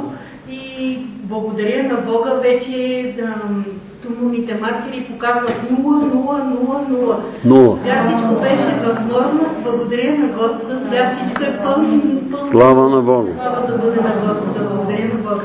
Това е най-хубавата вест. Кажи Ами аз да кажа, че мъжа ми, по-силно. мъжа ми беше алкохолик, обаче спря да пие. Слава Богу. Слава на Бога. Е, сестра Розалия. Аз искам да благодаря на Бога, защото аз съм от нулевата. На майка ми са казали лекарите, че няма да има деца. Баба ми е проклела някога в нейната свекърва, че да няма деца. И аз въпреки всичко по молитвите към Бога съм. Да.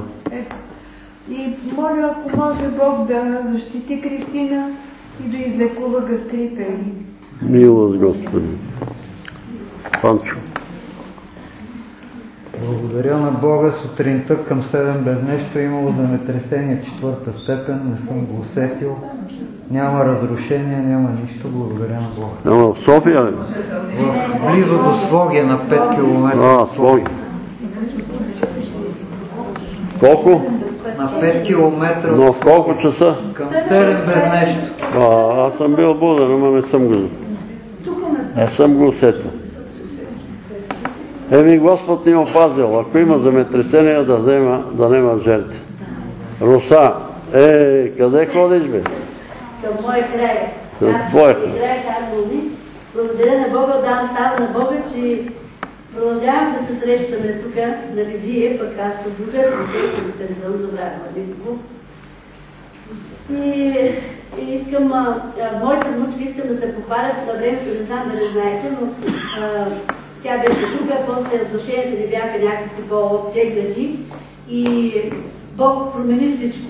Така че има надежда, вярвайте, каквито да са взаимоотношенията, когато сме кротки пред Бога, Бог оправя нещата.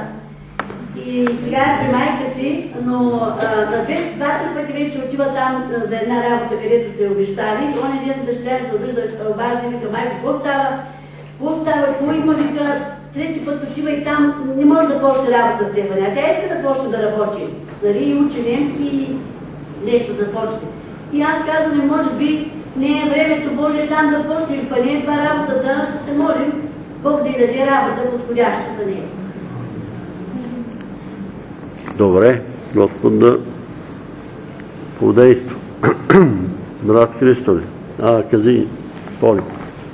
Молим за подходящ брачен партньор. Чакай, не чух. За подходящ брачен партньор. А, брачен партньор. Господа те благослови с брачен партньор. Добре. Ние те благославяме и Бог да те благослови. Галя. Молим се сестра Снежана, която свири на пияното вече. Сестра коя? Снежана. Снежка. Коя бе? е майката. О, Снежа, дето е на това, дето свири. Може да излиза заради... Молим Господ да покаже милост и да даде освобождение на нея. На това момиче. и там как се е настанил лукавия.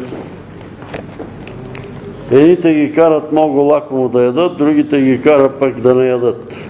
Едните отслабват, другите напълняват, едното не е добре и другото не е добре. Друг да прослави Бога,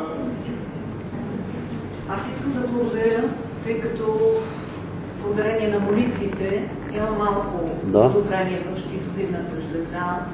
Не, нали възлите не са така издути. Но молбата ми е да продължим да се молиме.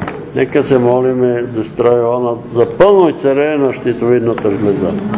Има раздвижване малко и в работата ни, този договор, който го чакам. Нека Господ да даде нещата до края. Амин. Бог да благослови труда ти и работата. Кажи, Саша. Извинете, брати забравих да прославя Бога. Миналия път, нали, влязох пред да се, да се молиме за мене за краката, защото ме боляха. Благодаря на Бога. Господ ми даде освобождение на болката и сега от време на време съвсем рядко ме боли. Но благодаря на Бога, ще е тия болки, които бяха. Добре. А, брат Тодор. Да се помолим Господ да благослови всички тия, които често искат да изкарват прехраната си с труд. Защото става много трудно.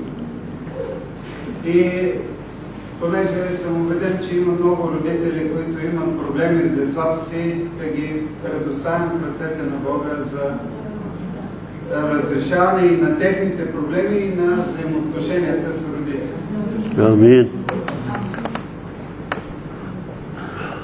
Аз искам и аз да благодаря на Бога. Преди една седмица тук братята се моли Да. бях се си преоборила ръката и ме болеше и благодаря на Бога. Вече не чак толкова ме боли, но нека да се молим за пълно изцеление. И искам да представя една нужда на брат Георги от Ръсник. А, Брат Петър го познава, пастера, той е 96 годишен. Георги А, Да. Чекалов. И дъщеря му, той има четири сина и две дъщери. Само тя, дъщеря му не е Да. повярва и е вярваща. Другите са в света. И е претърпяла белодробна операция.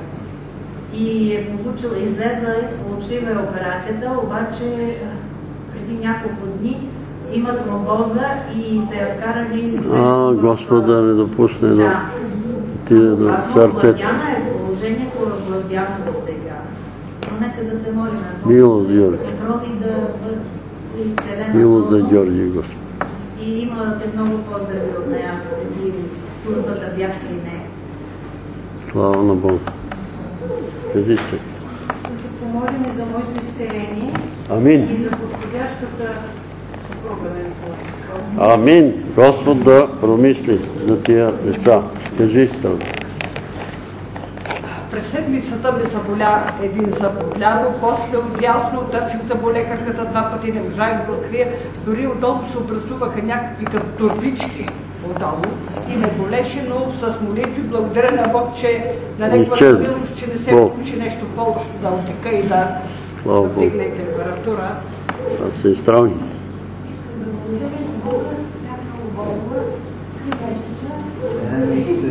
От процес. По същия начин забуване изцеление. Амин.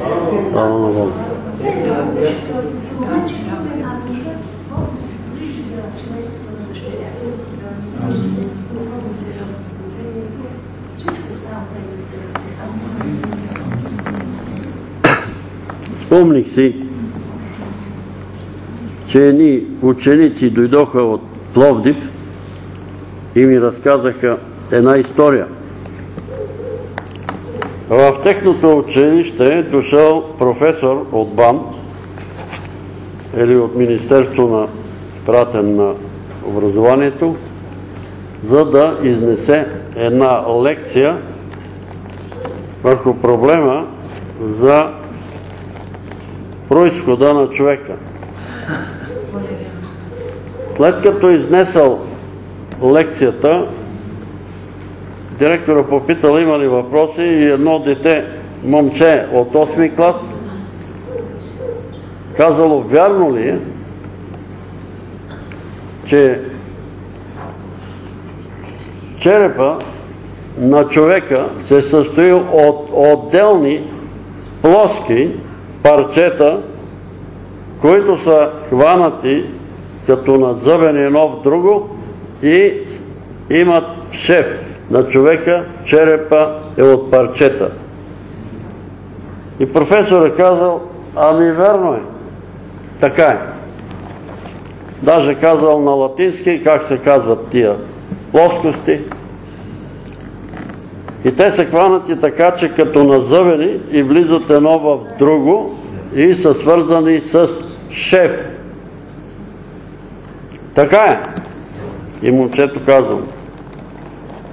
Значи този, който е сътворил човека, е знал, че ще се правят операции, мозъчни операции и затова е улеснил лекарите по черепна хирургия, за да може по-лесно да отварят едно парче или друго парче.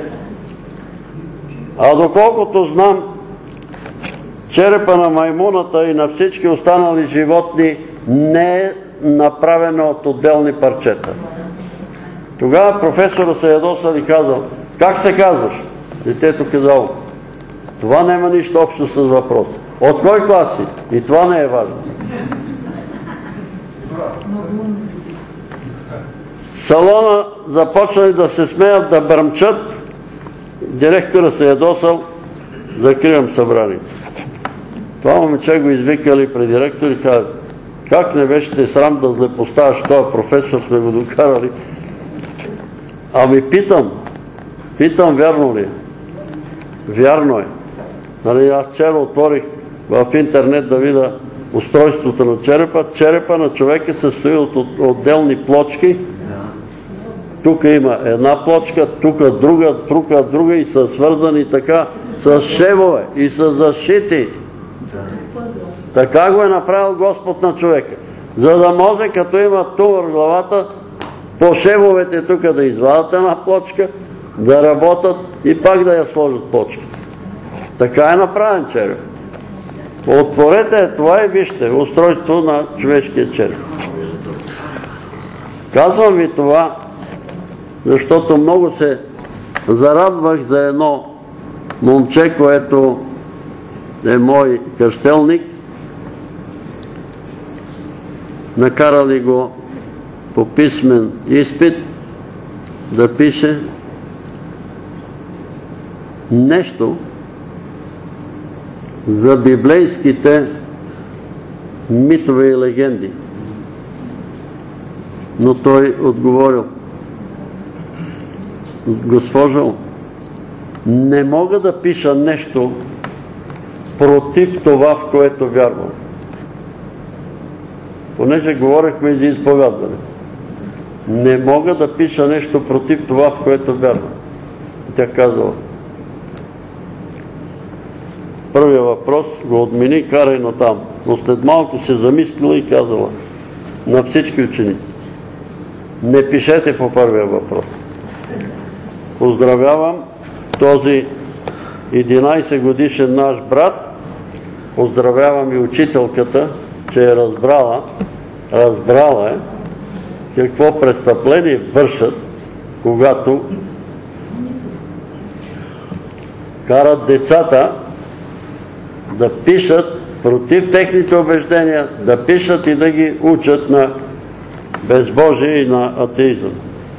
Знаете това пример тук в едно село до София, също по биология, едно, когато обяснявала учителката происхода на човека, имали въпроси и тя казала, ние сме вярващи, ние вярваме Бога, моите родители и аз вярваме, че Бог е сътворил човека. Тя започна отново да му обяснява. Така от мъглявината там, нали, от частичката, от взрива, какво станало от маймуната и накрая от маймуната произнезнали човека и накрая попитал, попитала момичето. Разбра ли? Ами разбрах. И какво разбра? Ами разбрах, госпожо, че вие сте произлезнали от маймуните, па нас Господ ни е сътворил. Това разбрах. Така че Господ дава мъдрост на децата, за да засрами тия, които се опитват да ги лъжат, нали, че така от маймуни сме произлезнали, от не знам. Това нещо отдавна се отвърли. Обаче Министерство на просветата продължава да говори тия лъжи.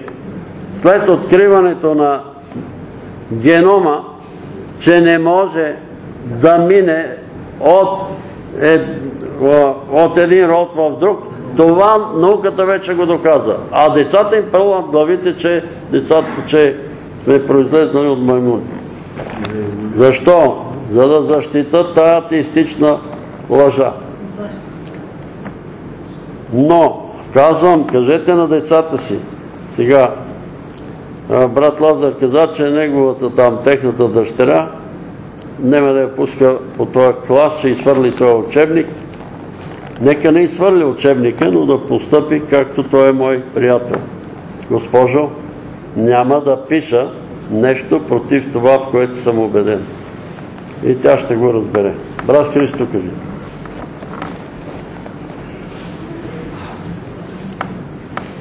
На Петра напомняте един сън, който ти го каза в понеделник, че един брат е сънувал, че се е легнал по корем и тук голяма част от събранието сме на гърба ти да. седиме.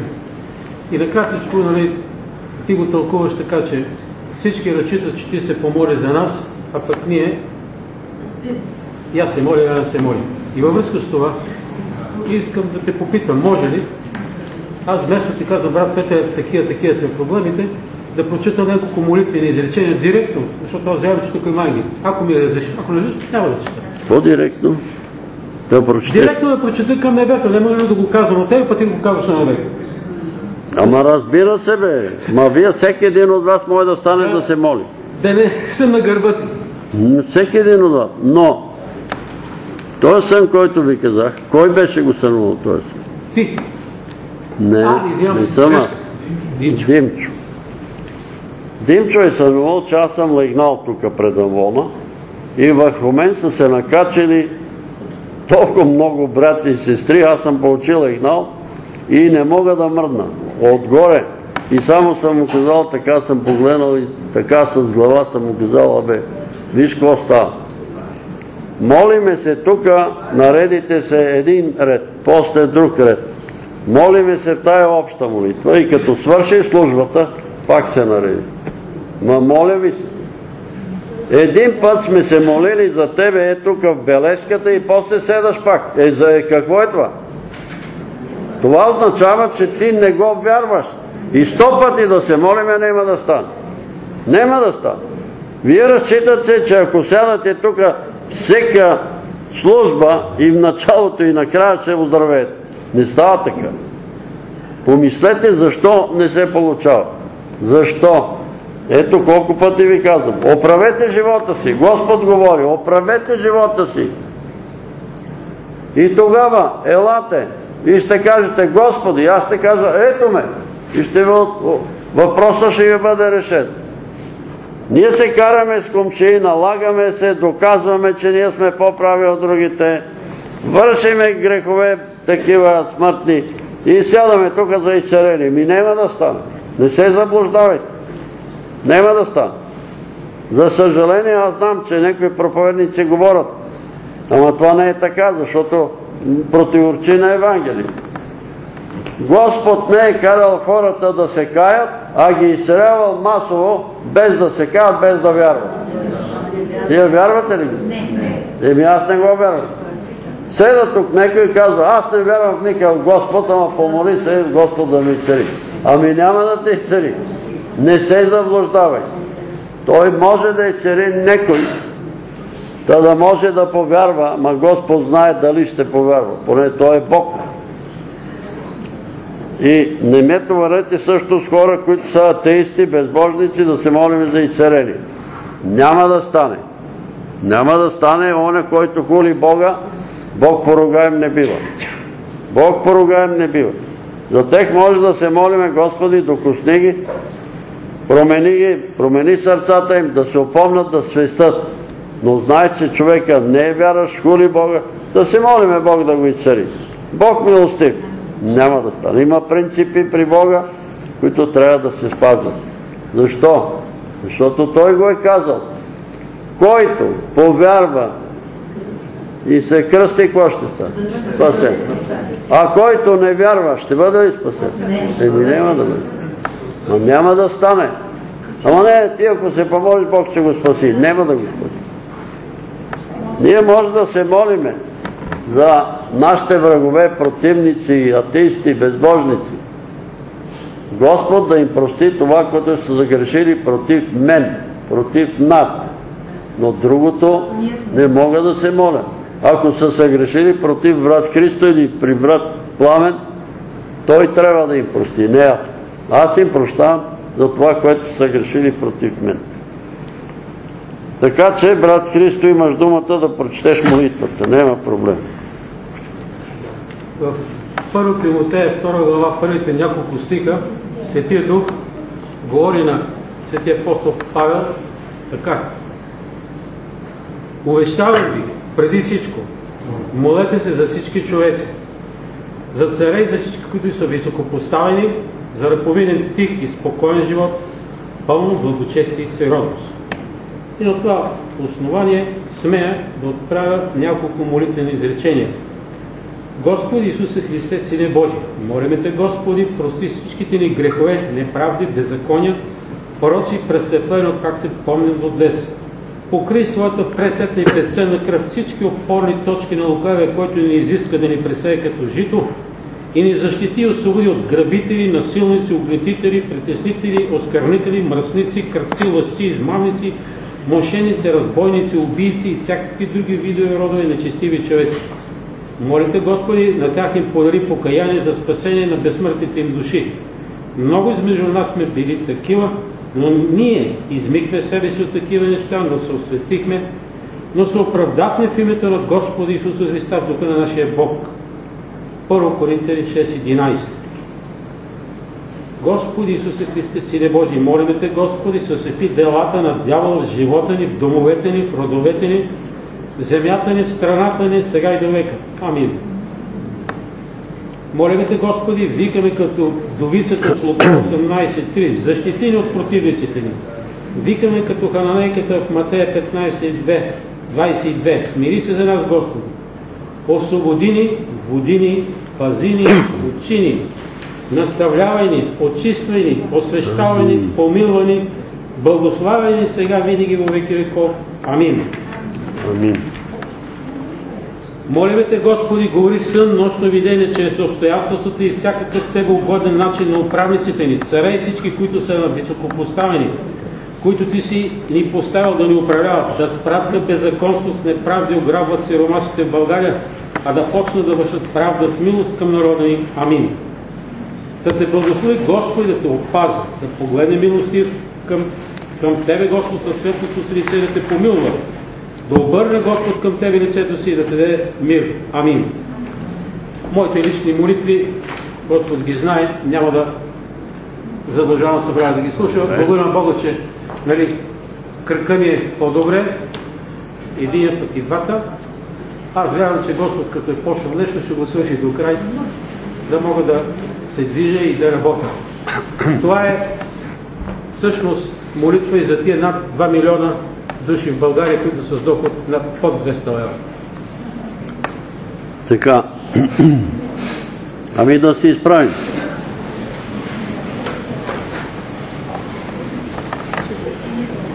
Слава да бъде на името Ти, Господи! Стоиме пред Твоето присъствие. Радваме се, че Ти си тук с Твоя дух и Ти си на всяко друго място, където се извършва богослужение Божието име, където, където се чете и се разсъждава върху Божието Слово, където людите се покланят с дух и истина на триединния Бог, Да, Господи. Където принасят своите дарения, благодарения, просби, молитви. Благодариме Ти, Господи, защото вярваме, че Ти си жив Бог и чуваш всички молитви, Амин. които се принасят от цялата планета към Тебе. Ние не можем и да си представим Твоето величие и Твоята слава. Алилуя! Покланяме Ти се с дух и истина. Господи на силите всемогъщи да, Господи. помогни ни да оправим живота си. Да, Господи. Помогни ни, Господи, защото ето си казал си на брат Иван, идвам като крадец. Ще дойдеш като крадец и ако не сме в изправност, ще съжаляваме за през цялата вечност. Да, Господи. Помогни ни да оправим живота си. Вярваме, че сме спасени даром, Да, Господи. по милост. Милост, Господи. Но сега Ти искаш от нас да работим на Божията нива, защото много хора тънат в мрак и тъмнина. Да, Господи. Помогни ни да ходим и ние самите в светлината, за да не се препъваме. Да, Господи. Да не се препъваме в разни фалшиви учения, които човеци изопачават Божието Слово, изопачават Христовото благовестие. Помагай ни, разкривай ни ги да се отстраняваме от такива фалшиви учители. Алилуя. Молиме те, ти бъди нашият пастир, ти бъди нашият наставник, ти бъди нашият учител и ние те молиме, присъединяваме се към молитвата на брат Христо, благослови всички Твои люди по целия свят, Алилуя. всички, които изповядват името Христово и вярват, че Ти си синът на живия Бог. Бог, пази ги и помагай им, Господи. Молиме Ти за нашите управници и дай мъдрост, разбиране, знание, съкрушавай уния, които пречат и които служат на лукавите сили. Разкривай лукавите сили и съкрушавай ги, Господи. Благослови свещеници, пастири, владици, дякони и всички разпространители, благовестители, които разнасят благата вест в нашата страна и по целия свят. Изпълвай ги с сила и с благодат, пази ги от всяко зло и моля те, разрешавай им и материалните проблеми, за да нямат грижи и да ти служат. Господи, ние ти благодариме за храната, за облеклото, за въздуха, за топлината, за всичко ти благодарим. Благодариме ти, Господи, и за този салон, в който ти си отворил врати да се събираме. Това е Божий дом и всеко място, където се отслужва богослужение в името на Тринния Бог. Там е живия Бог, там е Триединния Бог. И ние те молиме, Господи, да ни дадеш Твоята любов, да ни върнеш първата любов Амин. към Твоите деца и да ни опазиш. Алилуя. Да не се отклониме, Господи, в почитането на Азът и неговото множествено число ние наляво и да не се отклониме и надясно в греха. Да, Господи. Господи, пази ни, защото отклонението означава гибел. Да, Господи. Помогни ни да се смиряваме пред Теб. Смирено и кротко да следваме Твоето Слово и да стъпваме по Твоите стъпки. Амин. Каквито и препятствия да има пред нас, ние вярваме, че Ти ще ги отстраниш. Да. Сега те молиме за ония, които искат да имат семейства, за Николай, за Сашо, за други сестри и братя. Моля те, ти си сватовник и те молиме да ги срещне с подходящи другари в живота и да създадат семейство. Но пак казваме, нека бъде Твоята воля. Ние те молиме за уния, които боледуват, които са по болничните легла, които не могат да дойдат на това или на друго събрание, където да се молят за тях, да ги докоснеш, да ги благословиш и да ги цели, защото ти си Бог отблизо, но и Бог отдалече и Твоята ръка не се е скъсила, тя държи цялата Вселена и земята е подножие на нозетите, където и да има наши брати и сестри. По лицето на целия свят, наши сънародници, молиме те да ги пазиш и да им помагаш. Господи, ако предстоят бедствия, земетърси, а Ти казваш, че ще дойдат, молиме Те, не допускай жертви да загиват човеци. Смили се за нас, помилвай страната ни. Ти знаеш, Господи, че сме на последно место. По жизнен стандарт в Европа, защото се отклонихме, защото сме и на последно место по хора, които се причестяват, които те признават за син Божий и затова те молиме уния, наши сънародници, които са заявили при преброяването, че са православни, католици, евангелски християни. Господи, събуди ги, събуди ги, събуди ни и нас. Той е сън, който ми дава, че сме заспали. Събуди ни, Господи, защото ако не едем Твоето тяло и не пием Твоята кръв, нямаме дял с Тебе.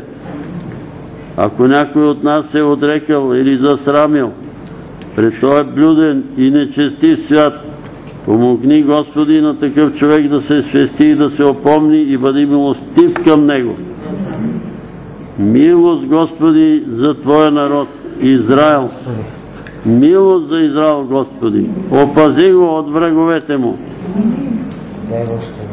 Дявола настройва кои ли не и какви ли не империи и какви ли не човеци срещу Твоя народ, но ние знаем, че вече ще се изпълни писанието. Всеки, който се опита да повдигне Иерусалим, ще се изкиляви. И всеки, който се опита да нападне Израел, ще бъде опарен.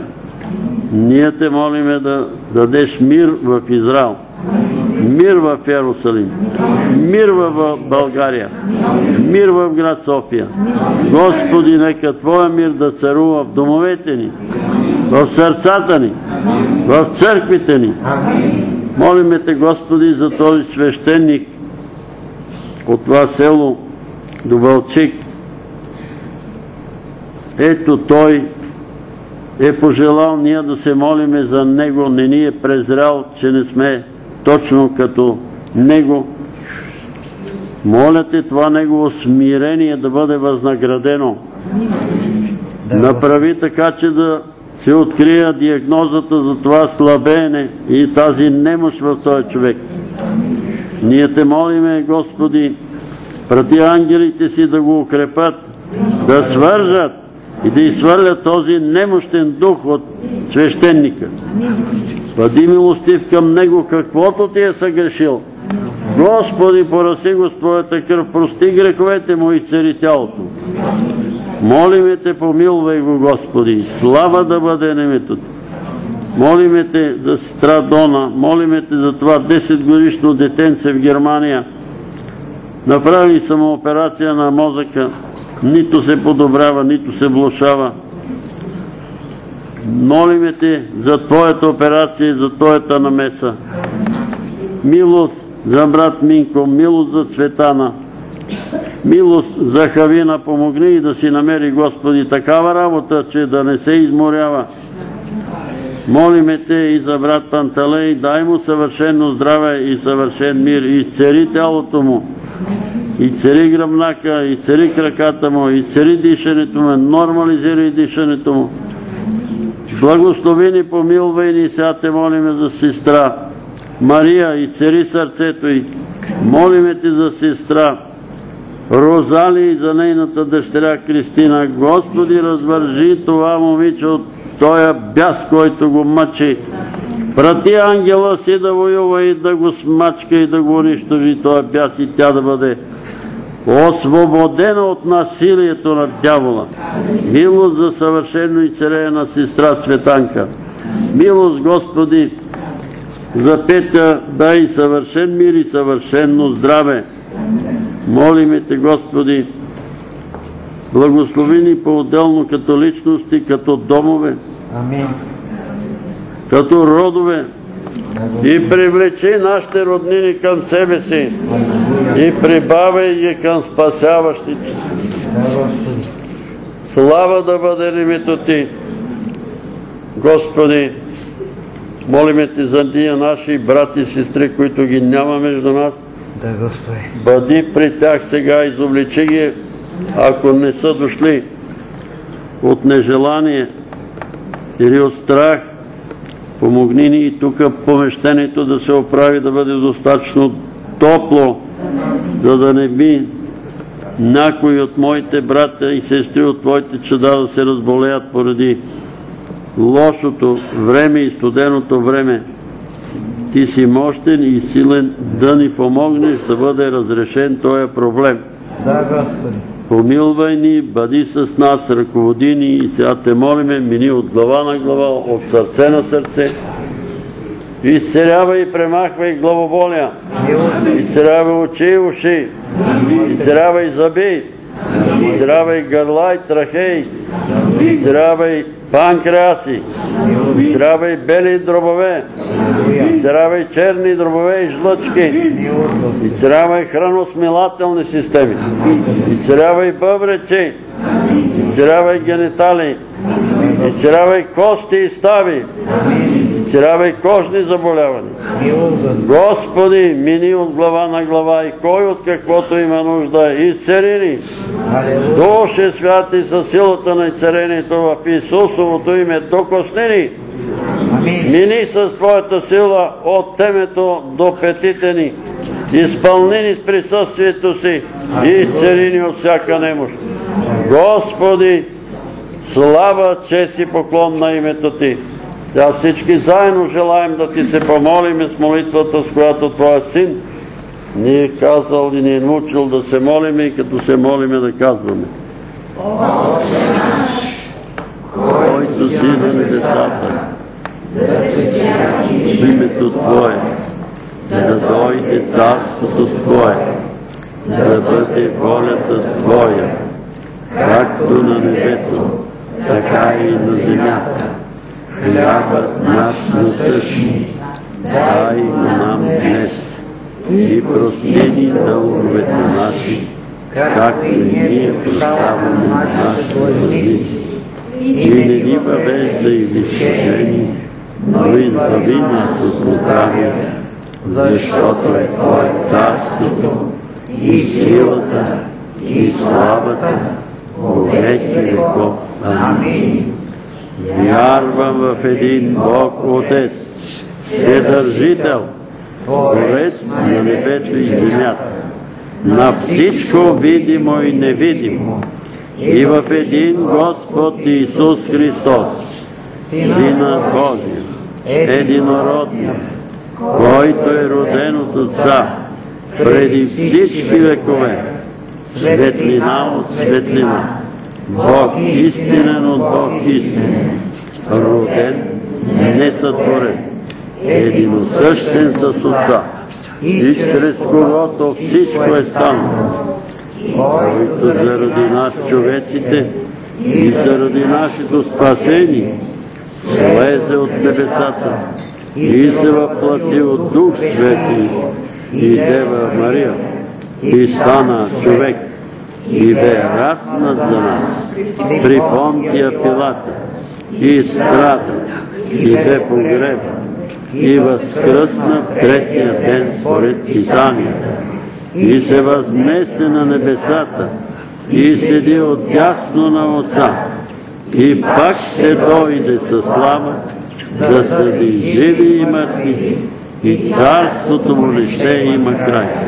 И в Духа Света, Господа, животворящия, който от Отца изхожда, комуто се покланяме и го славиме, наравно с Отца и Сина.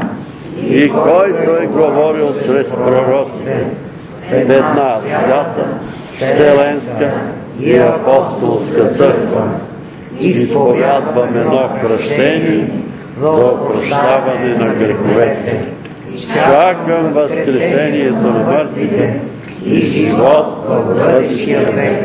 Амин. Панчо, моли се, помоли се, ако.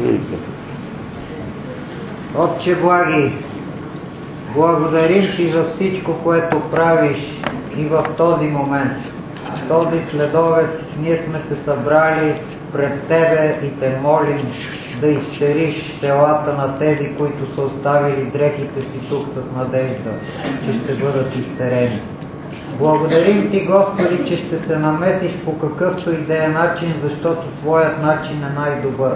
Амин. Благодарим Ти, защото и ние имаме нужда от Тебе и ние сме застанали тук с надежда, че и ние ще бъдем духовно и физически изтерени. Моля Ти се тази единна молитва да отиде на небесата при Теб и я чуй и я изпълни според волята си, Господи. Всяка една нужда да бъде чута и да бъде Амин. изпълнена по най-съвършеният начин, защото Ти си съвършеният изтерител, изкупител, усъвършител, спасител и универсален лекар. Да бъде слава на името Ти, Господи, за всичко това, което си направил от сега и до века. Амин. Амин. Така може да седнете. За свещеника в Бълчик, въртете, виждам ясно много голям военен кораб. Може би от тия по-старите с... Те, военните кораби са с по 4-5 е така уръдие. Значи, виждам ги уръдията така, ама интересно, че 100 им бойници или черно въртете. Уръдията се движат така. От време на време почнаха да пускат по стари снаряди. Това виждам за свещеника. А да свещеника виждам, че стои в една лодка във водоем до брега. Стои в лодка. Той иска да служи, ама не може. За проблемите в, с помещението чувам извеждам ви от тук. Извеждам ви от тук. Това това казвам. Ако от Бога, от Бога, ако от Бога, не знам. Друг.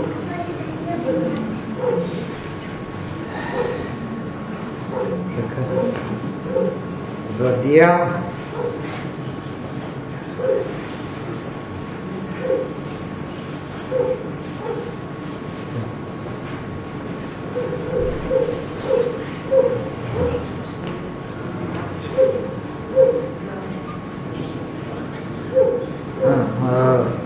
автомобилен маслен маслен крик дигнат нагоре. Маслен крик. За кого? Има едни такива маслени крикове, малки обаче, не. Има и големи, но има малки крикове, които дигат по един тон. И го виждам, че е дигнат крика, ама само това. Само крика се вижда, че е дигнат. За кого е това, бе, пан? За Диан. Тук ли е майка му? Да. Да. Еми, ще се повдигнат нещата, леко по леко. За Красимира. Дето има проблем с алкохола. Виждам една тичаща лисица. Дух. Дух на алкохолизъм.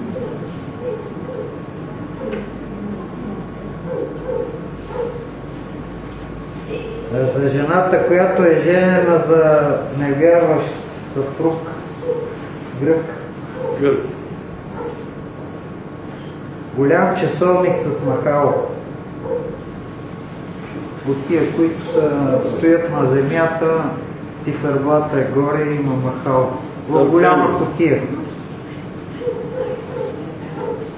За Николай на Марта виждам влакова композиция с зелени вагони и специално погледа ми се насочва към един от вагоните.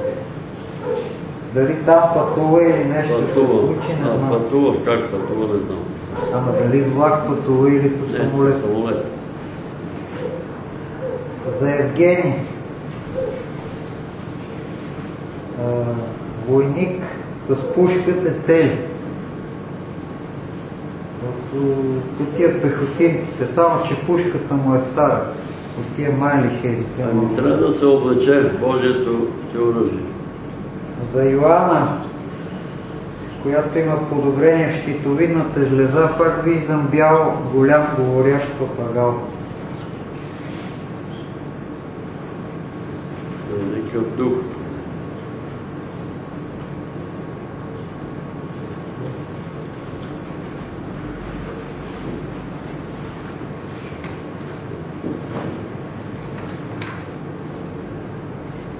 За, за сестра, болна от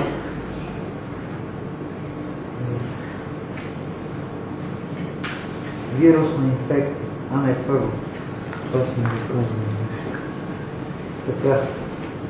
За управниците. Значи виждам един матч по свободна борба. А, двама борци в синьо и червено Еми, трико боричка, там се боричка. се борят.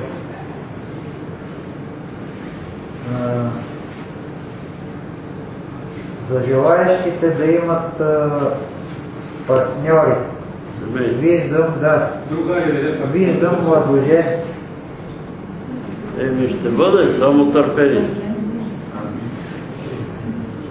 Понеже се моли за това, че сме на последно място в Европа, имам много странно видение. Един москвич 408 боядисан в кърваво червен металик. С много силен хром, много качествен хром. Отпред решетка всичко блети. Москвича е чисто нов. Не знам за става въпрос. Еми, ако си бехме с москвичите, можеше да сме на предпоследно място. А, Така, всеки, който нападне Израел, ще, ще пострада. Виждам как стрелят катюши. В момента и ми се казва, че Израел се защитава.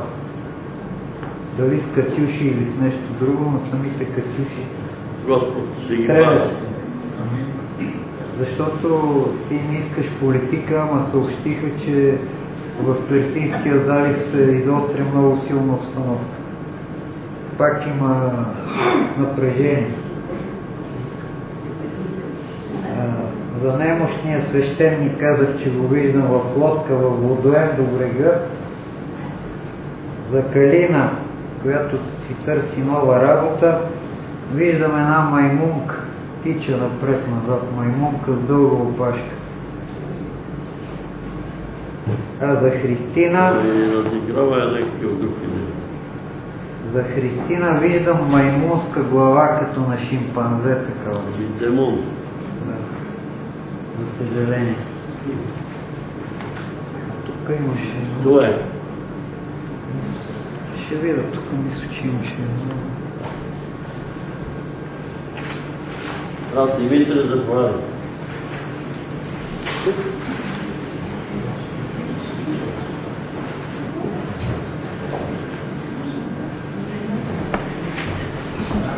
За сестрата с преуморената ръка виждам хокеен матч. Не знам какво ще рече. Сестрата, сестрата с преуморената ръка виждам хокеен матч. Какво ще рече, не знам.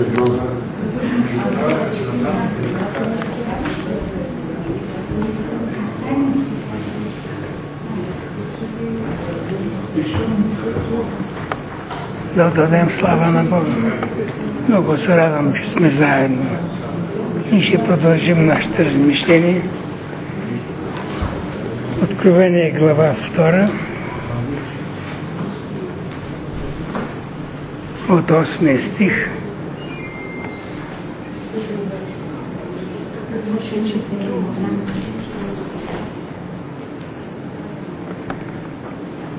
до десетият. До ангела на Смирненската църква пиши. Това казва първият и последният, който е стана мъртъв и оживя. Знае твоите дела, твоята скръп и сиромасия, но пак си богат. И как те клеветят онези, които наричат себе си иудеи, но не са.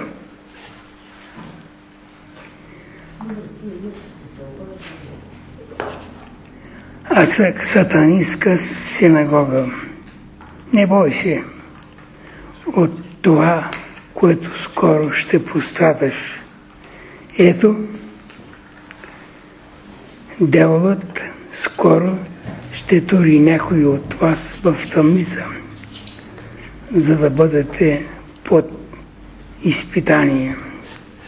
И ще имате скръп 10 дни. Бъди верен до смърт и аз ще ти дам венеца на живота. Който има ухо, нека слуша, що говори Духът към църквите. Който победи, няма да бъде поведен от втората смърт. Амин. Баща наш небесен, сърдечно сме ти благодарни за днешния ден, който преминава очи благи. Благодарим ти за всичката Твоя благост, милост, непрестанна грижа. Благодарим ти за Словото, което си ни дал, да се получаваме от Него. Молим, Отче благи, разкрива ни Словото си със Святия Дух, да разбираме това, което ни казваш и да го вършиме в нашия живот. Най-сърдечно сме ти благодарни за Господ Исус Христос, Твоя възлюбен Син, когато ти изпрати да страда и умре за греховете и престъпленията. Той умря заради нас на Голготският кръст. Проля кръвта си за нашите грехове и престъпления, а възкръсна за нашето оправдание, възнесе в слава и царувата вечни векове. Благодарим ти за Словото, което си дал да се получаваме от Него. Благодарим ти за Святия Дух, който си изпратил да ни ръководи, наставлява, назидава, изобучава да растем благодат и истина. Благодарим ти за църквата, която си създала върху кръвта на своят възлюбен син и си ни призвал в тази църква. И ние сме се отговори на Твоя прижив оче благи и Ти се молим да ни ръководи с дъхът да не се отклонява нито наляво, нито надесно, но винаги да следваме Господ Исус Христос. Ние сме дошли да дадем хвала на Твоето име, да Ти се поклоним с дух и истина и Ти се молим, ръководи и наставлява ни всичко това, което вършим, да бъде за прослава на Твоето. Молим се да благословиш нуждите на всека един от нас. Ти знаеш какво е в сърцата и душите ни, ти знаеш какво е нашето желание и нашия купнеж.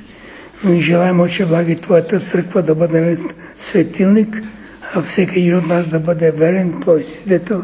И затова ние се нуждаем от Твоята сила, от Твоето ръководство и от Твоя свет дух, който да ни изпълни и да ни наставлява да растем благодати. Моля се да благословиш църк... църквата в нашата страна. Моля се да благословиш всеки един по-отделно и нашите домове, които ни ги представяме пред Тебе. Молим ти се особено за тези домове, Отче Благи, които са разделени. Ние имаме бер, наши синове и дъщери, майки и бащи, брата и сестри, наши родни и близки, далечни, които са далече от Тебе. които не са предали себе си на Господ Исус Христос, но ни ти се молим да действа с духа си, да им откриеш истината, че пътят на вярата води във вечен живот чрез Исус Христос, но пътят далеч от Христос води в вечна погибел. Но и ти благодарим, че ти работиш в договорите ни, да ги спасиш и да ги върнеш. Оставяме всичко в Твоите ръце. Молим в името на Господ Исус Христос, комуто да бъде слава вовеки. Амин. До 11 стих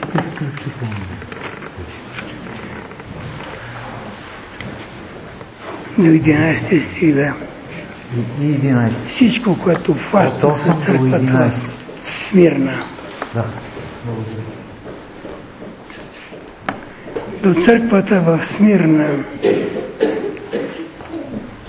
преди години турците го бяха прекръстили Измир. Затова в някои стари преводи може да намерите Измир. Това е на 60 км северно-запад от, от Ефес.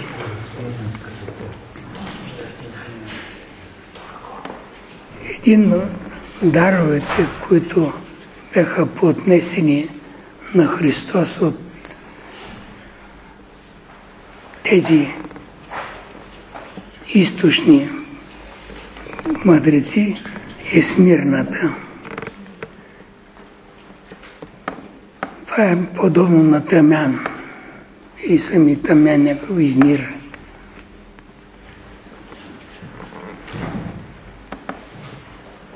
В този град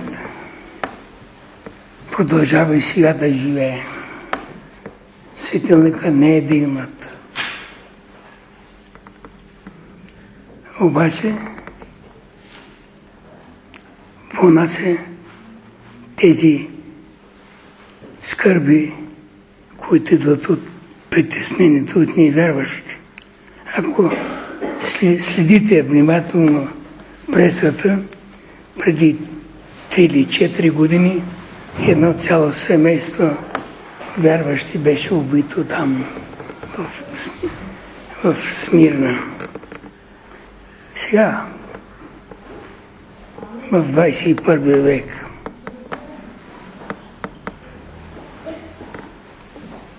това окръжение, което е около вярващите, Христос казва, ще имаш скръп. Живееш между тях и до тях е имало представители на юдеите. И тук за това споменава в това приветствие, което и има отправил към Смирненската църква, до ангела на Смирненската църква пиши. В това време някои историци смятат, че е вече бил епископ Поликап Смирненски, който е ученик на апостол Йоанн. Поликап Смирненски е известен епископ в първия век и също и е църквата в Смирна. Христос ги предупреждава. Ще имаш скръп 10 дена. Какво значи това? Не постоянно, но ще бъде ограничено. 10 дена. Известно време, но ограничено. Не 12 дена. 10 дена. Което може да тръгне да постоянно да бъде ограничено във време. Ограничено от Бога. И затова му казват 10 дена. Някои смятат, че Бог предупреждава Смирненската църква за това гонение, което ще започне император Троян. Това е в началото на, в края на първият век. Някои смятат, че тези 10 дена са десете гонения, които се провеждат от императорите до идването на Константин. В този период са проведени 10 специални гонения от императорите. И предполага, че това предупреждение, което казва Христос е именно предупреждение за църквата да знае, че идва период на 10 гонения, които ще бъдат върху църквата. От друга страна, самата църква е била нападана от какво? Юдеите, които Христос ги нарича ситанинска синагога. Дявола ги използва. И ето казва, дяволът ще сложи, от вас ще вложи в затвор да ви изпита. Кой? Ли ще ги сложи ли хората? Хората ще ги сложат. Но ако те ръководи грехът и, и извършваш волята на дявола, ти вършиш дяволски деца. И дявола ги сложи. Това е разликата между дяволските чеда и Божиите чеда. Дяволските чеда вършат волята на дявола, изпъл... вършат грехът в твоя живот, а Божиите чеда се стремят да вършат волята Божия. Вие си ги изпитал и си видял, че не са юдеи. Кой е юдеин тогава? Апостол Павел дава едно определение, това в Римите, посланието към Римите, втора глава, там казва 28 не е юдеин този, който е външно такъв, а юдеин е който е вътрешно такъв. Юдеин в този смисъл е човек, който върши Божията воля, той е юдеин. И той е очистен той е казва не външно обрязан, а вътрешно в сърцето. Сърцето е очистено. Как можеш да изпитваш той е юдеен или не е юдеен? Дали юдеен е външно или вътрешно? Как става това изпитание? Апостол Павел открива това в първото послание към коринтяните, първо, втора глава, 14-15 стих казва какво Духът всичко изпитва. Но този Божий дух, който е в нас, ако ни ръководи духът, ние може да изпитваме кое е вярно, кое не е вярно, кое е истина, кое не е истина. Именно цялата църква в Смирна е имала този дух – ръководен от изпратен от Бога и е могла да изпитва людите. Изпитал си ги, казва, и си открил, че не са юдеи, че са ситанинска синагога. И така, понеже на църквата предстои изпитание, как поздравява Христос църквата. До ангела на Смирненската пиши, кой, кой казва? Този, който бе мъртъв и оживя. Не бойте се, ще възпитание. Аз съм бил умъртвен, но съм жив. Значи, предвид онези изпитания или онова, което предстои на църквата, Христос използва от своите опитности и от това, което той представлява като царът, който владее Вселената и всичко да поздравява вярващите. И сега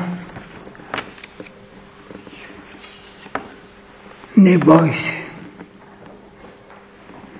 Това е основното обращение, което Бог дава към човека, когато му се явява нещо или му изявява нещо.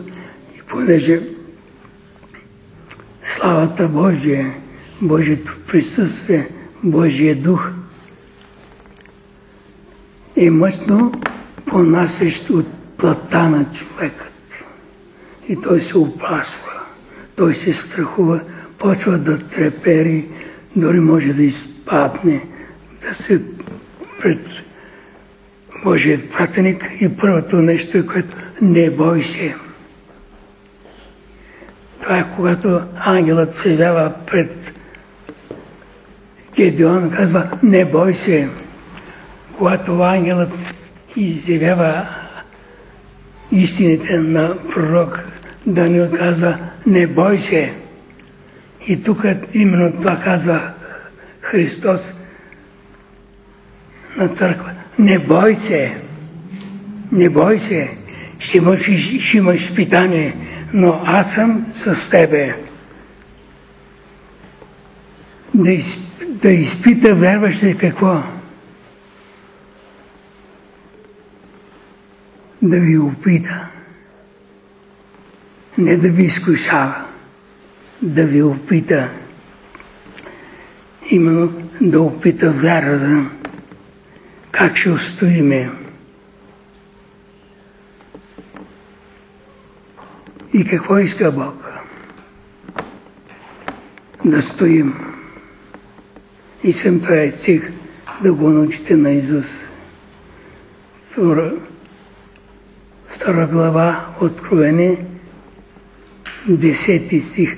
Бъди верен до смърт и ще дам венеца на живота. На всяка една църква след приключване Бог дава едно обещание. Като стоим верни до смърт, ще получим венеца на живота. Какво беше обещанието към църквата в Ефес? Дървото на живота. Вечен живот ще вкуси, ще еде от дървото на живота. Тук ще получи венеца на живот. Защо? Устоява в изпитание. Бъди верен до смърт и ще дам венеца на живота.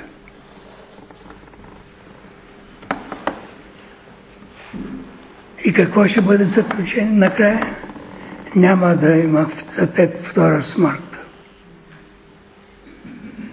Втората смърт е огненото езеро. Всичко бива изхвърлено там. Там е антихриста, там е лъжепророка, там е звярат, там е в сатана, там са всички невярващи, там са всички, които са отхвърли Христос, там са невярващите, там се е всичко нечисто. А вие, които устоявате, няма да ви повлияе втората смърт, защото тя не е за вас. Това е заключението, което Христос казва. Но вече не говори. Обращението е към ангела на църквата. Обещанието и заключението е към цялата църква. Това е разликата, която Бог сам прави. Обръща се към този, който отговаря за благовесието, а това е ангелът на църквата, епископът,